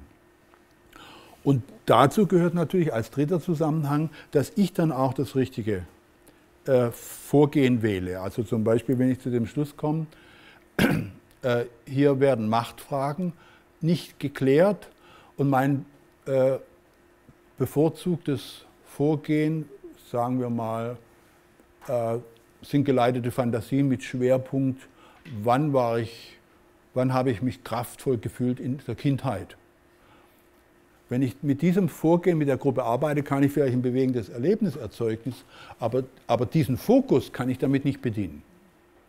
Das heißt, es, damit es eine stimmige professionelle Figur entsteht, muss immer wieder neu abgeglichen werden, dass Fokusbildung, Problemdefinition, wen ich damit erreiche, in welchen Rollen und welche, welche Handlungsfiguren und Zusammenhangskonzepte ich aktiviere in meinem beruflichen Handeln, dass das zueinander stimmt.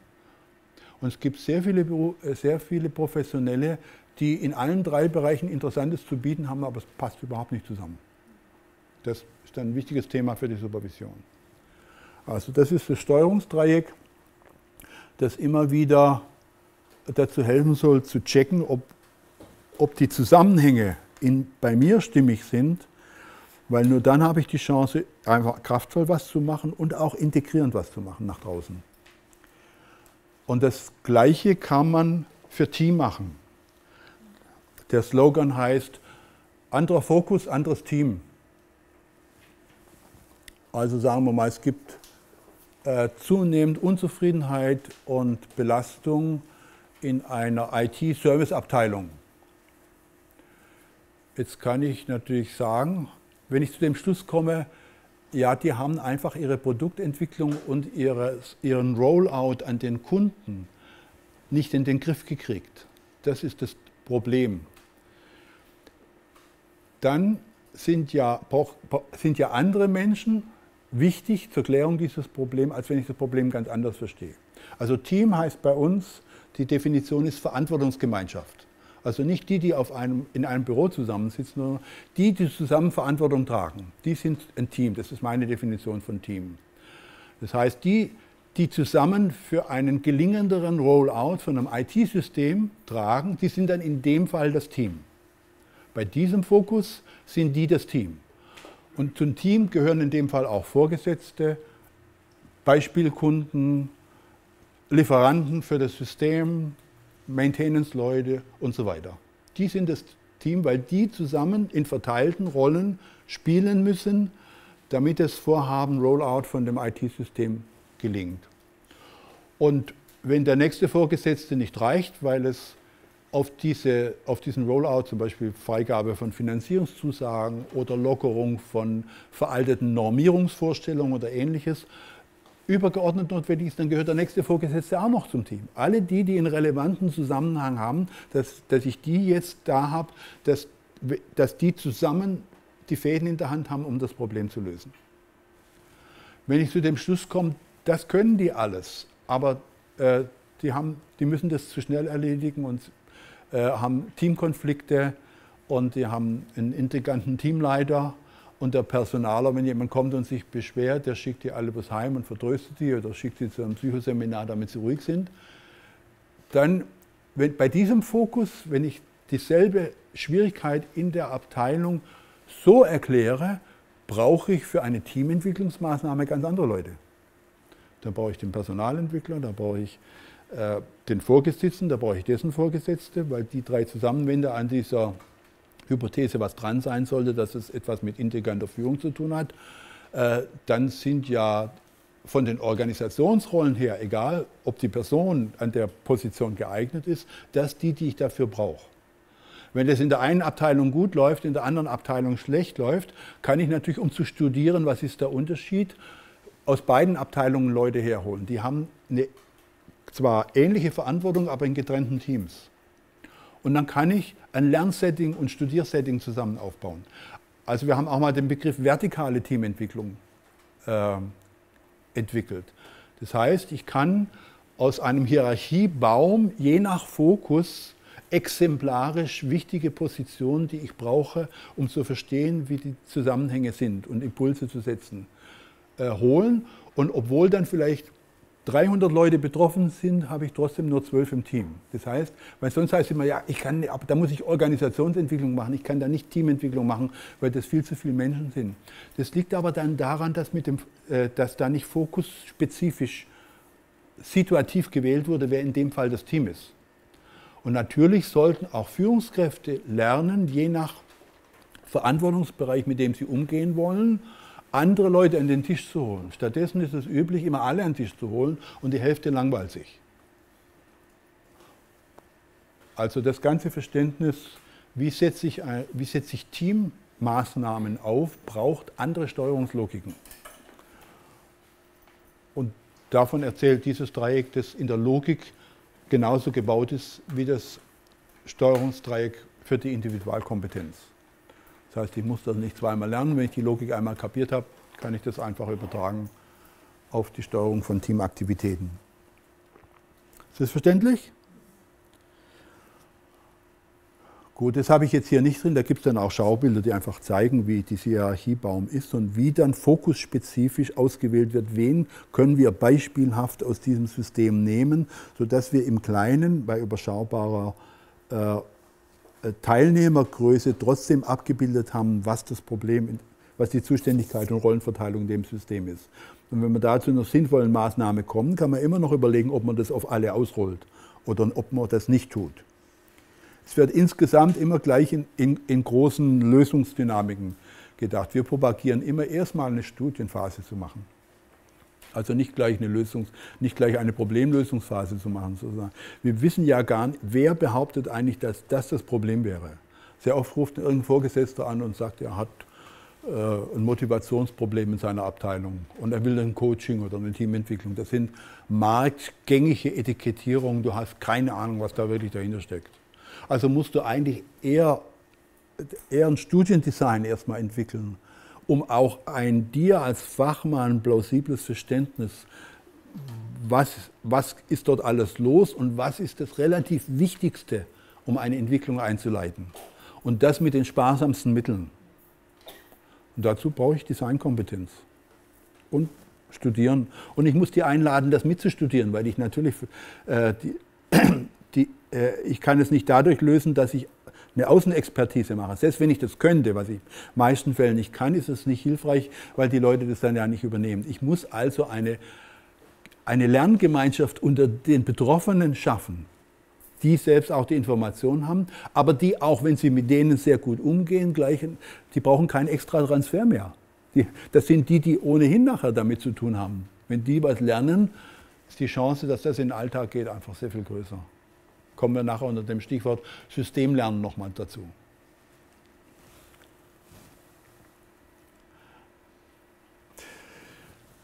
Dann das Perspektiven-Ereignismodell. Das ist dadurch entstanden, dass ich mal einen fünfköpfigen Vorstand zur Beratung hatte. Und die haben mir 25 Kinder, die in den Brunnen gefallen sind, aufgezählt. Und die hatten zwei Stunden Zeit und äh, wie wir das jetzt lösen. Ja. Und was mir aufgefallen ist, dass die wild durcheinander diskutiert haben, ja, da war jetzt äh, dieses große Meeting und das und das ist da schief gelaufen und so können wir das nicht mehr machen. Und andere sagt, ja, das war jetzt dieses Meeting, aber es ist eigentlich wichtig, dass wir zukunftsfähig werden. Wir sind nicht zukunftsfähig. Und die Thematisierung von zukunftsfähig Wirklichkeit in dieser Mietung ist uns auch überhaupt gar nicht gelungen. Und so haben die Perspektiven, also Gesichtspunkte, unter denen inszeniert werden soll, und Ereignisse, also das, was dann wirklich geschehen soll, ständig durcheinander diskutiert. Die kamen auf keinen grünen Zweig damit. Und dann hab, bin ich an einem Flipchart und habe unterschieden zwischen Perspektiven und Ereignissen. Und wir brauchen eine Ordnung im Denken und in der Diskussion. Entweder wir sagen, okay, lass uns die Sache von den Perspektiven aufziehen. Das ist jetzt jeweils das Standbein auf diesem Bild. Sagen wir, okay, äh, Servicefreundlichkeit, sagen wir es mal zum Beispiel. Dann sagen, was meinen wir mit Servicefreundlichkeit? Äh, dann, dann muss das erstmal untereinander definiert werden. Dann können wir wieder dieses Wirklichkeitsbegegnungsmodell brauchen, weil vielleicht die fünf Vorstände jeder was völlig anderes damit meinen, was Servicefreundlichkeit sein könnte. Und wenn man sich äh, auf ein paar plausible und, äh, Gesichtspunkte geeignet hat, das merkt man zum Beispiel daran, dass der Kunde, wenn wir anrufen, in der Regel erfreut ist. Oder dass, wenn irgendwo was nicht gut läuft, der Kunde auf uns zukommt und kooperativ sagt, Leute, da läuft was nicht gut, kümmert euch drum. Wenn das passiert, öfter passiert, dann gehen wir mal davon aus, dass Servicefreundlichkeit bei uns zugenommen hat. Also die Perspektiven werden spezifiziert. In dem Fall werden sie sogar an Ereignissen festgemacht. Und dann kann man sagen, okay, wenn das jetzt unsere Perspektiven sind, dann lass uns mal überlegen, wir machen jetzt nicht eine Maßnahme, und da geht es jetzt um Kundenfreundlichkeit, das wird heute gemacht, da wird der, der Oberguru für Kundenfreundlichkeit eingeladen, der macht dann ein super Seminar, fünf Tage, alle sind begeistert, das war's dann. Nee, wir überlegen, wo in unserem Unternehmen gibt es Ereignisse, in denen Entscheidendes zum Thema Kundenfreundlichkeit passiert oder unterlassen wird. Das heißt, nachdem ich die Perspektive klar habe, gucke ich mal, in welchen Stücken, auf welchen Bühnen muss eigentlich dieser Aspekt mehr betont werden. Weil nur in, einem, in der Regel durch ein komplex, komplexes Zusammenwirken in verschiedenen Ereignissen und einer relativ konsequenten Folge von Ereignissen können Perspektiven wirklich in neue Wirklichkeiten oder in Gewohnheiten umgesetzt werden. Das ist die eine Art, wie man denken kann. Und dann kann man überlegen, was sind jetzt die ein, zwei, drei wichtigsten Perspektiven und über welche Ereignisse wollen wir uns jetzt unterhalten und welche Vorstellungen haben wir davon, wie die umzugestalten wären und wie kann das geschehen, dass die umgestaltet werden, wer ist dafür zuständig, Verantwortung und also. Und das habe ich dann mit den fünf an zwei Beispielen in zwei Stunden mal durchgemacht.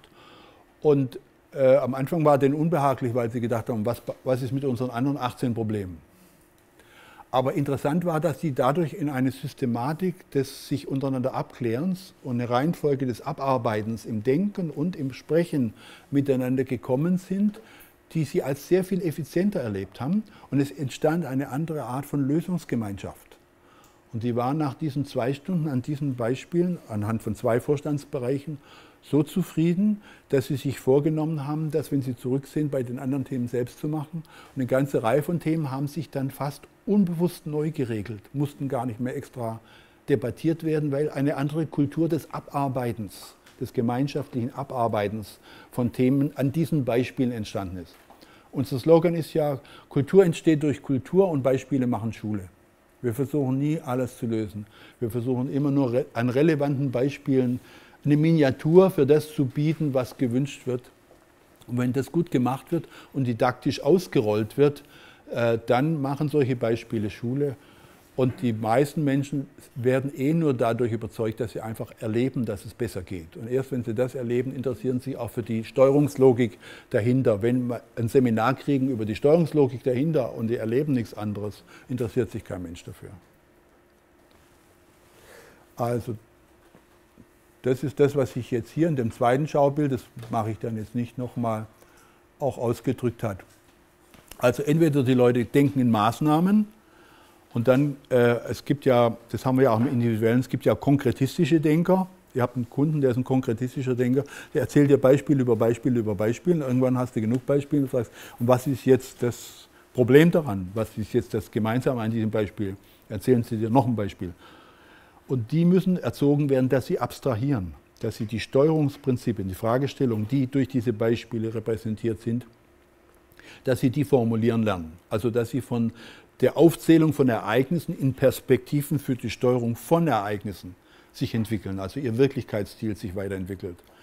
Und dann gibt es aber Leute, die erzählen dir die Problematik an sich und äh, noch eine Problematik und was ist sie schon darüber nachgedacht und wenn du fragst und angenommen, also wo findet es konkret statt und angenommen, du würdest das ändern, wie würde sich das konkret zeigen, in welchen Ereignissen und wie, sollen, wie soll es zu einer Neugestaltung dieser Ereignisse kommen, dann fällt das nicht, denen nicht viel ein, weil sie schlechte Konkretisierer sind.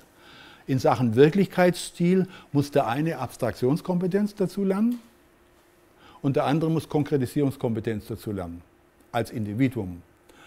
Als Team können sein, die Talente sind verschieden verteilt, dann müssen äh, dort, wo es um Abstraktion geht, die, die gut Abstraktion können, Geltung verlangen.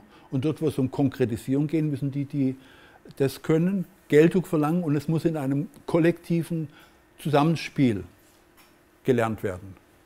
Und dass das nicht gegeneinander läuft, sonst haben wir nur die, die Visionäre und die Praktiker. Und die Praktiker sagen, visioniert ihr ruhig weiter. Wir wissen, wie es geht. Und die Visionäre sagen, die gucken immer auf die eigenen Fußspitzen, aber die, wohin es gehen soll, kapieren sie überhaupt nicht. Solche Polarisierung gibt es in vielen Unternehmen und da ist wichtig, dass es zusammengebracht wird. Und das ist eine kulturpflegerische Aufgabe. Dazu brauchen wir aber selber Konzepte, wie wir überhaupt das, was nicht gut funktioniert, auf eine praktische Weise konzeptionieren können.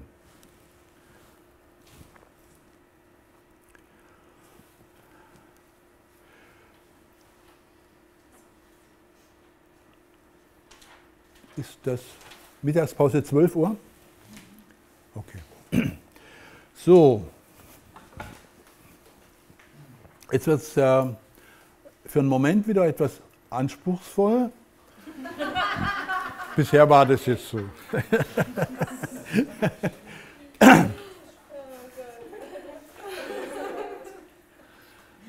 Weil wir denken, wir wissen, was ein Unternehmen ist. Ne? Gehst du heute ins Unternehmen, frag mal fünf verschiedene Menschen an fünf verschiedenen Zipfel, was dir da erzählt. Der eine sagt, ja, ich, ich gehe in Gebäude 5. Der andere sagt, ja, ich gehe zum Meeting der Key Players. Der dritte sagt, ja, ich gehe äh, zur Konfliktklärung dorthin. Äh, es, denn Unternehmen ist für mich Finanzen und wir haben was finanziell zu klären. Also ihr werdet feststellen, auch da, ein Unternehmen ist kein Ding ein, was Unternehmen ist, ist eine Perspektive. Für den Personaler ist das Unternehmen was anderes äh, als für den Boss, als für den Gärtner. Für jeden ist das Unternehmen, was aus seiner Wirklichkeitssicht das ausmacht. Also die Illusion, es gäbe das Unternehmen als objektives Ding. Es gibt, es gibt natürlich irgendwas Objektives, aber wir kommen da nicht dran ohne die Perspektive eines Betrachters. Und wenn wir sagen, wir wollen Unternehmen entwickeln, muss man sich natürlich fragen, was wollen wir eigentlich entwickeln? Das heißt, wir müssen eine Perspektive dazu sagen, unter welchem Gesichtspunkt wir Unternehmen entwickeln. Das kann sein Richtung Wirtschaftlichkeit. Da geht es dann um andere Daten, Fakten, Zusammenhänge, Lösungsmöglichkeiten, als wenn ich sage, ähm, ich möchte das Unternehmen unter Kulturentwicklungsgesichtspunkten des Umgangs miteinander, der Würdigung studieren. Und dann kombinieren wir das jetzt wieder mit dem Steuerungsdreieck. Je nachdem, unter welchem Gesichtspunkt ich Unternehmen entwickeln will, gibt es ganz andere Adressaten im Unternehmen, die dabei eine Rolle spielen. Und das hat zunächst was mit meiner fachlichen Sicht zu tun, hat aber auch etwas mit der Kultur der Rollenverteilung in diesen Unternehmen zu tun. Ich muss die auch ein Stück studieren. Das heißt, es ist gar nicht so einfach zu definieren, was eigentlich Unternehmens- oder Organisationsentwicklung sein soll und unter welchen Gesichtspunkten. Und dafür brauchen wir auch wiederum dieses Perspektiven-Ereignismodell. Und dann ist es ja manchmal so, dass der eine sagt, ich mache Führungskräfteentwicklung, Führungsentwicklung, und der andere sagt, äh, ich mache Verantwortungskulturentwicklung. Dann sagt er, aber brauchen wir Verantwortungskulturentwicklung? Ist doch kein eigenes Thema, denn eine gute Führungskraft ist ja verantwortlich. Ich sage ja umgekehrt, äh, Führungsentwicklung ist eigentlich eine Unterabteilung von Verantwortungsentwicklung, weil ja nicht nur die Führer sind am Unternehmen wichtig, sondern alle anderen sind auch wichtig. Wenn, wenn, äh, wenn alle ihre Verantwortung wahrnehmen, dazu gehören auch die, die Führungsfunktionen haben, äh, dann ergibt sich, dann erübrigt sich ein eigenes Feld Führungsentwicklung.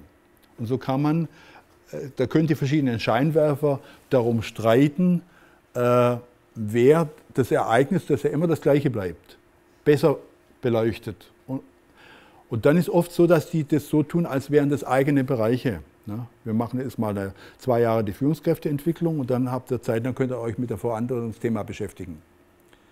Als könnte man das in der Sache täglich ist die Führungsthematik und die Verantwortungsthematik in, jeder, in jedem Moment präsent und muss integriert und kombiniert werden. Mal kann man den Elefant von der einen Seite her aufzäumen, mal von der anderen Seite. Und es stimmt, dass es oft sich um dieselben Dinge handelt. Die Ereignisse, um die es geht, die Menschen, die da behandeln müssen, können durchaus identisch sein, aber die Perspektiven, aus denen heraus wir Entwicklungen steuern, die können verschieden sein. Und ich habe jetzt mal für das, wo, wie wir unsere Produkte lancieren, äh, Perspektiven ausgewählt. Da ist auch dieses Scheinwerferbild. Aber ich, es gibt natürlich x Scheinwerfer, die äh, wir gar nicht benutzen, wenn wir Unternehmen beschreiben. Also es wird natürlich der Umweltbeauftragte nochmal ganz andere Dinge zur Sprache bringen oder in den Vordergrund rücken. Und das, was, das ist für uns im Hintergrund. Natürlich ist Umwelt wichtig, aber es ist nicht unser Handlungsgegenstand. Für den ist das im Vordergrund. Und das, dass es nicht funktioniert, weil die, die Führung nicht dahinter steht und dessen Ausdruck von genereller Führungsbeziehungsschwäche in diesem Unternehmen ist, das ist für den Hintergrund. Für den ist Vordergrund, warum die CO2-Emission nicht stimmt. Also jede, jede Betrachtungsweise hat ihre eigenen Konstellationen von Vorder- und Hintergründe, obwohl im Tatsächlichen alles ständig zusammenwirkt. Man kann das eigentlich nicht trennen voneinander. Eines unserer beliebtesten Schemata ist das Verantwortungssystem.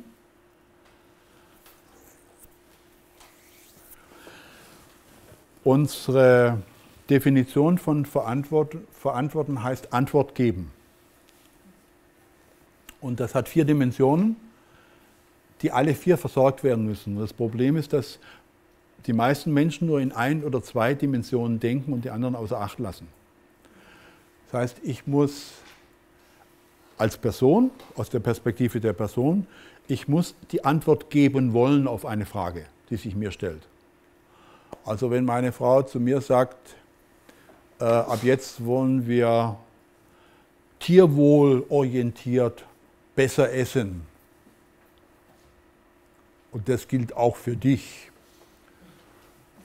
dann muss ich die Antwort oder die mögliche Antwort auf diese Frage, die sich mir auf diese Weise stellt, wollen. Wenn ich das nicht will, weil sie sagt, du bist doch ein aufgeklärter Mensch, du musst es doch können. Ja, können tue ich schon, aber wollen tue ich nicht. Das heißt, für mich als Person ist wichtig, dass ich nicht nur will, sondern auch kann. Das ist manchmal eine Frage auch der Qualifikation und manchmal der Frage der gelebten Werte. Und wenn beides gegeben wäre, also ich will Tierwohl freundlich essen und ich kann das auch, bin, weil ich gut einkaufen kann oder auch in der Lage bin, mich zu beherrschen, wenn irgendetwas Unanständiges auf diese Weise vor meine Augen kommt, dass ich das nicht meine, wieder essen zu müssen, das ist der Teil des Verantwortungssystems, das meine Person betrifft. Aber in Organisationen kann man Verantwortung dadurch nicht abdecken. Sehr oft wird es gemacht, dass sagt, die Leute können das nicht, schicken wir auf Qualifikation. Oder den Leuten, die wollen das nicht, machen wir ein Motivationsseminar. Aber es kann sein, dass es daran gar nicht liegt, sondern dass, äh, wenn Sie versuchen, was die Fragen neu zu beantworten und selbst in die Hand zu nehmen, dass man sie gar nicht lässt. Das heißt, die Antworten, man muss auch antworten dürfen. Und bei vielen Fragen der Verantwortung reicht das nicht aus, sondern man muss außerdem verantworten müssen. Das heißt, man muss zur Rechenschaft gezogen werden, wenn man nicht die Antworten nicht gibt, beziehungsweise nicht verantwortlich damit umgeht, dass Antworten schwer zu finden sind. Und ein Verantwortungssysteem äh, und sehr oft äh, fehlt zum Beispiel einfach, dass die Leute eigene Antworten geben dürfen und dann geben sie keine Antworten und dann schickt man sie stattdessen zum Motivationsseminar oder zur Qualifizierung. Eigentlich muss man eine Organisationsentwicklung machen und sagen, wie, wie gehen wir Fehlerkultur, Zuständigkeit, Delegationsfragen, wie gehen wir damit, wie machen wir, rahmen wir den Leuten, dass sie das jetzt dürfen und dass, wenn sie versuchen, das zu lernen und da geht mal was schief, ihnen nicht der Kopf abgerissen wird und dass, wenn sie es tun, dass sie Gratifikation erfahren und die, die es nicht tun, diese Gratifikation nicht kriegen und dass, wenn sie, und dass sie antworten müssen, dass wir erwarten, dass dabei was rauskommt oder dass es Fortschritte macht. Und wenn die nicht zu erzählen sind, dass sie auf die zukommen, die eine Verantwortung definieren können oder eine Entlastung von Verantwortung und das mit denen klären. Und das sind organisationsentwicklerische Fragen, das sind keine individuellen Fragen. Da kann natürlich, dass jemand, dass ein Chef jemanden anderen nichts entscheiden lassen kann, kann auch eine Persönlichkeitskomponente haben. Ne? Kann man auch psychologisch dran arbeiten. Aber äh, was ist in einem System los, dass wenn jemand so handelt, ihm sein Chef nicht auf die Füße tritt? Also ist vielleicht an der Stelle trotzdem viel wichtiger, erstmal eine, zu klären, ob die Kultur das normalerweise verlangt und sein Chef von ihm auch, dass er wirklich delegiert und seine Mitarbeiter was machen lässt. Und wenn dann er wenn das eigentlich klar ist und diese Person dann aus persönlichen Gründen damit nicht gut umgehen kann, dann kann man überlegen, welche Persönlichkeitsentwicklungsmaßnahme, wenn überhaupt, kann das dann helfen. Also das sind die Dimensionen des Verantwortungssystems. Und äh, wir machen beste Erfahrungen damit in Supervision. Äh, da, wir haben ja sehr oft diese engagierten jungen Menschen. Ne? die daran leiden, dass die Organisation eigentlich nicht bereitstellt, die Rahmenbedingungen, die sie brauchen, um mit ihrem Engagement erfolgreich zu sein. Und die immer glauben, es liegt daran, dass sie persönlich nicht motiviert oder qualifiziert genug sind. Und die schulen wir darin zu sehen, ja, dürfen wir überhaupt das, wenn wir es wollen? Und dann brauchen wir wieder das, äh, das Schema Symbiose, Konfrontation, also Verantwortungsvermeidung seitens der Organisation. Da ist eigentlich ein Dialog zwischen dieser Person und ihrem Chef dran, äh, was sie darf und was sie nicht darf und wenn sie da unterschiedlicher Meinung sind, wie sie damit umgehen können. Und wenn der Chef das vermeidet, sich diesem Verantwortungsdialog zu stellen, muss das System Wege kennen, die akzeptiert sind, die erwartet, die man darf und die man muss, die man gehen kann, um äh, eine Inverantwortungsnahme-Aktion zu starten. Und zwar jeder, von jeder Position aus. Das ist keine Sache von oben nach unten, sondern auch von unten nach oben.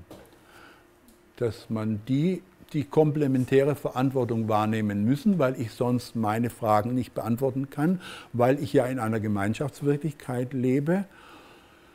Äh, muss sichergestellt werden, dass ich in der Lage bin, durch Kommunikation die Zusammenhänge so weit zu transportieren, dass es da irgendwelche Lösungen gibt. Und das ist Perspektive Unternehmenskultur unter dem Gesichtspunkt Verantwortungskulturentwicklung. Und da gibt es jede Menge Fehlverhalten, kann jeder sofort ein Lied von singen und jede Menge Verantwortungsvermeiden. Da gibt es nicht nur persönlich, äh, Kompetenzdefizite, wie man Kommunikationsfiguren anbringt, damit man das Mögliche ausschöpft, sondern es gibt auch Defizite, dass die Systeme einfach gar kein Verständnis davon haben, was für eine Verantwortungskultur sie brauchen, äh, dass Unternehmensführung auch dann funktioniert, wenn man nicht jeden immer kontrolliert. Weil es ein selbstverständliches Verantwortungssystem gibt. Sehr oft weiß man aber nicht bei neuen Aufgaben, neuen Rollen, äh, neuen Herausforderungen, wie da das Verantwortungssystem sein kann. Das heißt, die müssen auch lernen, zu neuen Fragestellungen auch neue Verantwortungssysteme gemeinsam zu entwickeln. Die verbindlich zu machen, innerhalb deren die Beteiligten dann auch danach handeln können. Und sie müssen auch ein Recht haben, das, was sie als Individuen brauchen, an Unterstützung durch die Organisation, das einzufordern. Und wenn sie auf eine vermeintliche Verantwortungsvermeidung stoßen, muss es eine, einen Mechanismus geben, wie sie, weil sie ja nicht mit der Macht, mit der Organisationsmacht ausgestattet sind, wie sie die dafür Berufenen in Verantwortung nehmen können. Darf ich da was fragen? Du sprichst ja jetzt von ähm, positiver Intervention. Also da kommt eine, eine Firma zu dir und du berätst sie im Gesamten. Jetzt bin ja. ich Mitarbeiterin oder Mitarbeiter in so einer Firma und ich darf eben nicht Stellung nehmen, ich darf nicht meine Meinung sagen. Wie, wie gehe ich dann damit um? Beispielsweise, wenn ich so eine Person beraten soll, sie kann ja nicht Einfluss, oder wie weit darf sie, kann sie Einfluss nehmen? Also erstens mal muss man klären, ob die Mythologie das sie nicht darf, ob das stimmt und ob die Möglichkeiten, wenn sie es gut macht, es kann auch sein, dass es teilweise ein Kompetenzproblem ist, weil manche versuchen, anstatt äh, in, den Chef in Verantwortung zu nehmen, ihm besserwisserisch zu kommen. Das mag kein Chef. Also dann ist es aber dann zu einem Teil doch ein Kompetenzproblem. Aber das muss man klären. Und angenommen, das wäre geklärt, äh, und es gelingt nicht, die aus dieser Organisationsrolle verfügbaren Hebel erfolgreich in Betrieb zu nehmen, dann ist zumindest wichtig, dass diese Person weiß, dass das hier nicht möglich ist. Und dann muss sie die Passung zu der Kultur prüfen. Und das hat jetzt natürlich wieder was mit zu tun, mit Bequemlichkeit. Also wir haben zum Beispiel Unternehmen, die, die, die, die, die erreicht, da erreicht jemand nicht viel, aber er will nicht wechseln, weil die anderen alle schlechter bezahlen. Da muss es sich im Klaren sein, dass das dann halt der, der Preis ist für seine Korruptheit an der Stelle. Er könnte vielleicht in ein besseres Unternehmen wechseln, aber es hätte seinen Preis und den will er nicht bezahlen, da soll er aber auch nicht jammern. Oder er merkt, das geht hier wirklich nicht und dann lade ich die Menschen wirklich ein. Äh, guck mal, gibt es viele andere. Äh, wenn ihr euch darüber klar seid, dass es das eigentlich ist, guckt nochmal, ob ihr irgendjemanden im Unternehmen findet, der das versteht und der genügend Macht hat, äh, daraus ein Thema machen. Und wenn das nicht der Fall ist, dann geht es nur nach dem Motto, rette sich wer kann. Manche retten sich in Ersatzbefriedigung, dass sie Kaffeekränzchen machen und ein, ein nice Social Life im Unternehmen haben, was nicht viel mit der Leistung des Unternehmens zu tun hat, aber es ist eine Kompensation. Wir nennen das dann ähm, äh, kompensatorische Symbiosen. Die glauben, äh, äh, die glauben, sie bezahlen uns. Nee, wir, wir, sie behaupten, sie bezahlen uns und wir, und wir behaupten, dass wir arbeiten oder so ähnlich. Und das, äh, ich sage nicht, dass das immer schlecht ist, solche Kompensationsgeschäfte, die sozusagen ein, ein organisiertes System der komplementären Verantwortung nicht Wahrnehmung sind. Und wenn jemand öffentlich finanziert ist oder eine Supermarktnische hat, weil die Ingenieure es immer richten, kann ein Unternehmen mit einer Verantwortungskulturreife unterirdischer Art trotzdem sehr lange leben. Aber da kannst du dann natürlich, äh, sozusagen, solange die nicht vom Aussterben bedroht sind, ist es dann über Überzeugung auch schwer, was zu finden. Also da ist oft notwendig, dass du die Leute animierst, mit den Füßen abzustimmen, weil, damit solche Organismen aussterben. Das kannst du nicht mit mit humanistischer Überzeugungskraft lösen. Insbesondere nicht, wenn, da, wenn es ein finanzmarktgetriebenes Unternehmen ist, das nur auf Rendite guckt.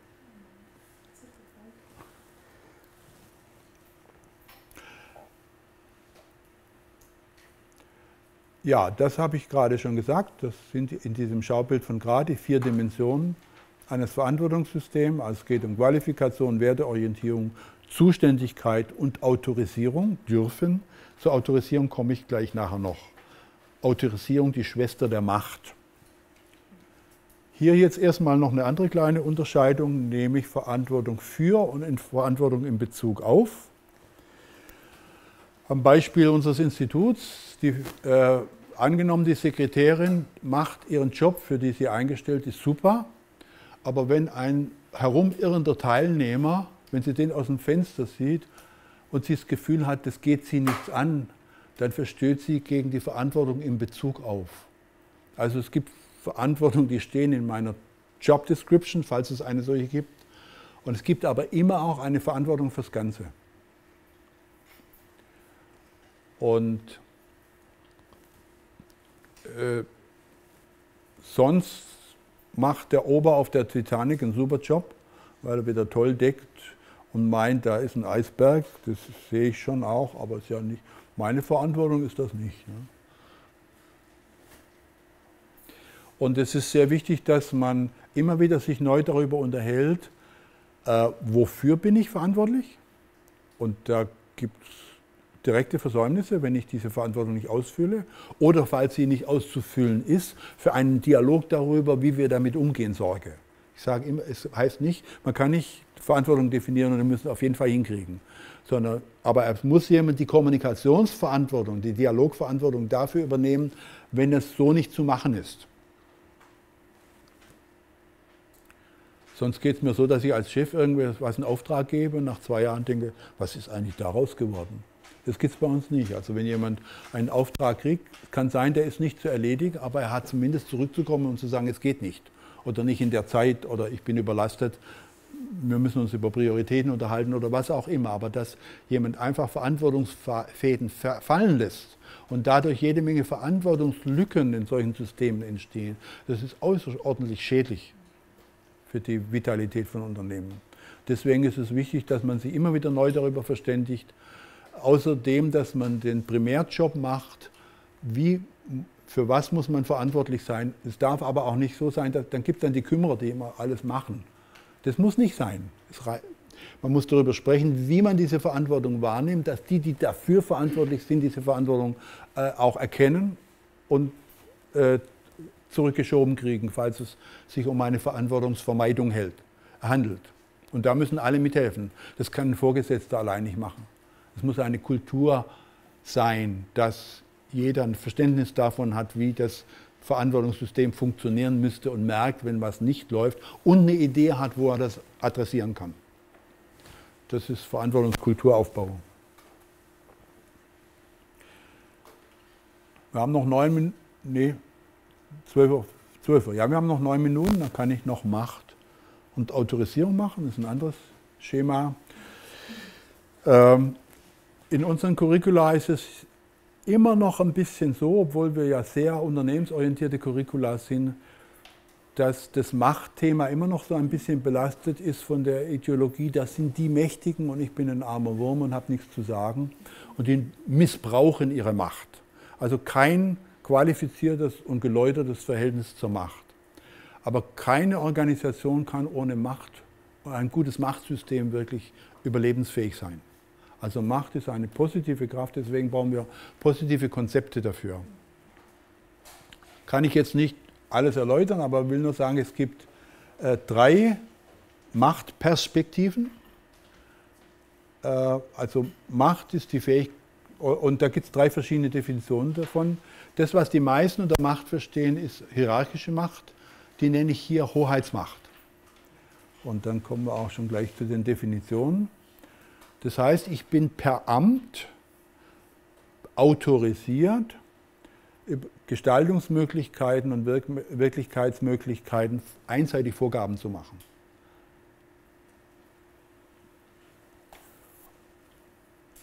Und das muss ich jetzt in dem Fall mit dem anderen nicht abklären, ob er das auch so machen würde. Natürlich muss ich abklären, wenn ich will, dass derjenige das macht, ob er das teilen kann. Ich brauche einen Dialog, ob wir da eine Gemeinschaftswirklichkeit haben. Aber ich muss am Ende sagen, äh, und ich will es so. Man kann es so oder so Weihnachten feiern. Bei uns gibt es Honigkerzen und keine Elektrokerzen. Und da muss der andere wissen, dass wenn er, der, bei uns darf er entscheiden, welche Kerzen wir am Christbaum haben, wenn er das so entscheidet, kann er mir einseitig Vorgaben machen, auch wenn ich das nicht gut finde. Es gehört zu meiner Organisationsrolle, dass ich das dann auch so mache. Das ist Hoheitsmacht und es, gibt, und es ist ein Segen. Die wird leider oft, also sie wird oft schlecht gebraucht, klar, dumm, einseitig, hierarchisch, aber sehr oft wird sie auch nicht ausgenutzt. Es wird endlos über die eine oder andere Variante diskutiert, es findet sich kein Chef, der sagt, jetzt haben wir genug diskutiert. Das ist jetzt die Richtung, in die wir laufen. Und bitte versammelt eure Energien da rein, die Prozesse auch entsprechend zu gestalten. Und wenn der Punkt dann kann man sagen, okay, da braucht es aber einen Verantwortungsdialog, der hat vielleicht nicht alle Fakten und so weiter. Klar, kann man Schleifen machen in begrenztem Maße, aber dann kommt der Punkt, an dem jeder weiß, und jetzt marschieren wir so. Und wenn da nicht ein Eisberg im Weg ist, gibt es keinen Grund, nochmal in Frage zu stellen, ob das wirklich der richtige Weg ist. Weil sehr viel Gestaltungskraft geht dadurch verloren, dass es nicht lang genug und konsequent genug durchgezogen wird. Und es gibt einfach, die wichtigsten Entwicklungsprozesse müssen über lange Zeit nach bestimmten Gesichtspunkten stabil gehalten werden, zumindest die Rahmen. Situativ kann man variieren. Aber die Rahmungskompetenz ist etwas ganz Wichtiges und sehr oft ist es eine Aufgabe der, der hoheitlichen Machtfunktion im Unternehmen. Und die muss auch ausgeübt werden, die muss auch gekonnt werden. Wird leider viel zu wenig geschult. Und die Schöpfermacht ist eine, eine andere Grundlage, weshalb andere mir, Fol mir folgen, äh, eine bestimmte Inszenierung, einer bestimmten Inszenierung den Vorzug zu geben gegenüber einer anderen, weil die Leute nehmen wahr, dass ich die Fähigkeit habe, sinnvolle Dinge zu tun und orientieren sich dadurch automatisch an mir. Und es jetzt kann natürlich sein, dass, sagen wir mal, die, die die Schöpfermacht in einem Unternehmen haben und die, die die Hoheitsmacht haben, dass die nicht an einem Strang ziehen. Dann gibt es ein Problem. Ne? Dann gibt es auch oft eine, einen Machtkampf, der aber etwas mit den auch unterschiedlichen Modalitäten von Umgang mit Macht zu tun hat. Und es wäre natürlich sehr hilfreich, wenn die, die die Schöpfermacht haben, die sind gern ein bisschen überheblich, sagen, ich weiß es eh besser, mir egal, welcher, welchen Chef ich habe, wir machen so, wie ich es richtig finde. Die ignorieren die Bedeutung von Hoheitsmacht und, und schädigen damit die Gültigkeit äh, von Hoheitsmachtstrukturen. Aber auch umgekehrt, die die Hoheitsmacht haben, sagen, ich kann sagen, wie es gehen soll. Äh, da brauche ich mich nicht darum kümmern, ob das intelligent ist, was ich sage. Also das ist dann natürlich wieder die Gemeinschaftskultur. Können die bei unterschiedlichen äh, Kompetenzen und Verantwortlichkeiten im Unternehmen trotzdem Kulturbegegnungen machen, sich maximal austauschen und dann dennoch geordnete Steuerungslösungen fürs Unternehmen finden. Und wenn dann der Chef, nachdem er alles geklärt hat, sagt, und jetzt machen wir es so, dass dann der, der die Schöpfermacht äh, hat, nicht am nächsten Tag kommt, jetzt habe ich noch eine bessere Idee, machen wir es doch lieber so. Ja? Und das dann aber so subversiv macht. Und langsam wird aus dem Pferd, das man satteln wollte, ein Huhn, das Eier legen sollte. Und da wundert sich dann der Chef, wo, das, wo der, die Möglichkeit zum Ausritt bleibt. Ja, und eine andere Grundlage für Einfluss auf andere habe ich Sinnmacht genannt. Und das habe ich aber als, das ist nichts, was man so schnell lernen kann. Ne? Das ist eine Fügung. Also es gibt Menschen, die, die selbst so viel Sinn in sich erzeugen können und die andere als Vorbilder, als Orientierungspunkte für Sinn empfinden, dass sie ihnen einfach Einfluss einräumen und sich an ihnen orientieren. Das ist auch sehr wichtig und optimal wäre es natürlich, wenn zu entscheidenden Fragen im Unternehmen alle drei Machtdimensionen komplementär zusammenwirken würden. Dann gibt es ein machtvolles Unternehmen. Und zwar im guten Sinne. Ah, nee.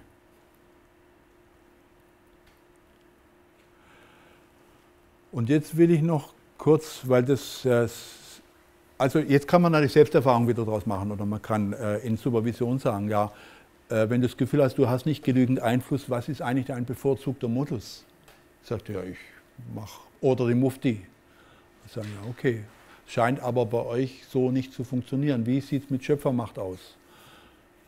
Ja, da bin ich nicht so gut, deswegen muss ich mit harter Hand die Sache machen. Dann kann man mit dem sprechen, ja, aber ohne Schöpfermacht in einem kreativen Unternehmen läuft nichts. Dann kann man demjenigen anbieten als Supervisionsgegenstand. Wollen wir uns darüber beraten, was du dafür tun kannst, um die, die die Schöpfermacht im Unternehmen haben, dass du mit denen eine Koalition bildest? Und da, da, kommt, da berühre ich jetzt nochmal eine Frage des Beratungsstils. Ich meine nicht, dass Beratung immer nur anliegensgesteuert sein muss. Ich meine, dass Beratung auch dadurch geprägt werden kann, dass ich mir ein Bild davon mache und einen einen Kontrakt anbiete und auch sage, wenn du das Problem nicht löst, nützt es nichts, wenn wir an deinem Anliegen, dass du nicht aus der Haut fährst, wenn mal wieder alles schief liegt, arbeiten, weil du wirst immer wieder diesen Anlass haben. Also ich glaube, deine Energie in unserer Beratungszeit ist sehr viel besser verwendet, wenn du lernst, Koalitionen mit denen, die die Schöpfermacht haben, einzugehen und dass, dass die, wenn die hoheitliche Komponenten brauchen, das nicht mit Genialität versuchen, sondern zu dir sagen, du ordne das einfach mal an, aber dass du, wenn du willst, dass was Sinnvolles geschieht, nicht denkst, du, dir fällt zwar nichts ein, du musst es aber trotzdem bestimmen, sondern dass du diejenigen, die Ideen haben, auch holst und ihr euch zusammenschließt in den Machtarten. Also da kann man auch eigene Gewohnheiten, das kann in die, in die äh, Geschichte der eigenen Unternehmenskulturzugehörigkeit gehen. Ja, ich komme aus dem Unternehmen, da hat man das nicht anders gekannt, da war das immer so. Man, ist, man hat also bezogen auf das Thema Macht eine Sozialisation erfahren, die man einfach gewohnheitsmäßig weiterspielt, obwohl man sie selbst nie gut fand. Man findet sie jetzt erträglicher, weil man vielleicht in einer anderen Rolle in dem Spiel ist. Aber eigentlich, wenn man sich überlegt, wollte man, dass ein anderes Spiel gespielt wird. Kommt man aber nicht unbedingt von selber drauf. Braucht man manchmal einen Impuls von außen. Und das andere, wo womit man sich beschäftigen kann, wenn ich möchte, dass ich für andere wichtig bin und sich andere an mir orientieren, welche Art von Autorisierung suche ich eigentlich? Weil ich habe nur so viel Macht über andere, als diejenigen mich autorisieren, dass sie diesen Einfluss auch annehmen. Außer bei den gewalttätigen Formen von Hoheitsmacht, da kann ich, schert mich das vielleicht nicht. Aber bei allen anderen Formen, bei komplexen Aufgaben und lebendigen Unternehmen, bin ich darauf angewiesen, dass der andere mich autorisiert, dass ich in der Sache ihm was zu sagen habe. Und das tut er zum Beispiel auch im Hoheitsmachtbereich. Das muss der, der Schöpfer, Macht, Freak, muss den Chef autorisieren, obwohl du die schlechteren Ideen hast und deine Version aus meiner Sicht nicht optimal ist, bist du von mir autorisiert, dass wenn du so entscheidest, dass ich mich auch wirklich von innen heraus daran halte, obwohl ich selbst es anders entschieden hätte. Also, und das ist wichtig, äh, dass wenn man Machtbeziehungen anguckt, dass man immer beide Seiten anguckt. Und bei einer Selbsterfahrung kann ich zum Beispiel fragen, wenn ich Einfluss auf andere nehmen möchte, wie suche ich Autorisierung? Ja, ich sagt ja, ich, ich versuche die davon zu überzeugen, wie toll das ist. Ne? Also Schöpfermacht oder Sinnmacht-Autorisierung. Das funktioniert aber nicht bei denen. Ich sage, ja, aber angenommen, du wirst denen sagen, so machen wir es jetzt, würden die das akzeptieren? Das würden sie akzeptieren. Ja, warum, warum nutzt du dann die besser funktionierende Möglichkeit der, einer Autorisierungsdynamik, die schon da ist und bestehst, dass du eine Autorisierung kriegst, die dafür in dem Fall jetzt gar nicht notwendig ist? Also über die Macht, Autorisierungs-, persönlichen Präferenzen, Kultureigenheiten eines Teams und, die, und wie ist das überhaupt im ganzen Unternehmen üblich. Und dann gibt es immer die Wechselspiele. Dass ich meine, zum Beispiel in, in einem Machtsystem mich bewegen zu müssen, dass ich persönlich zum Beispiel im Fußballverein ganz anders lebe.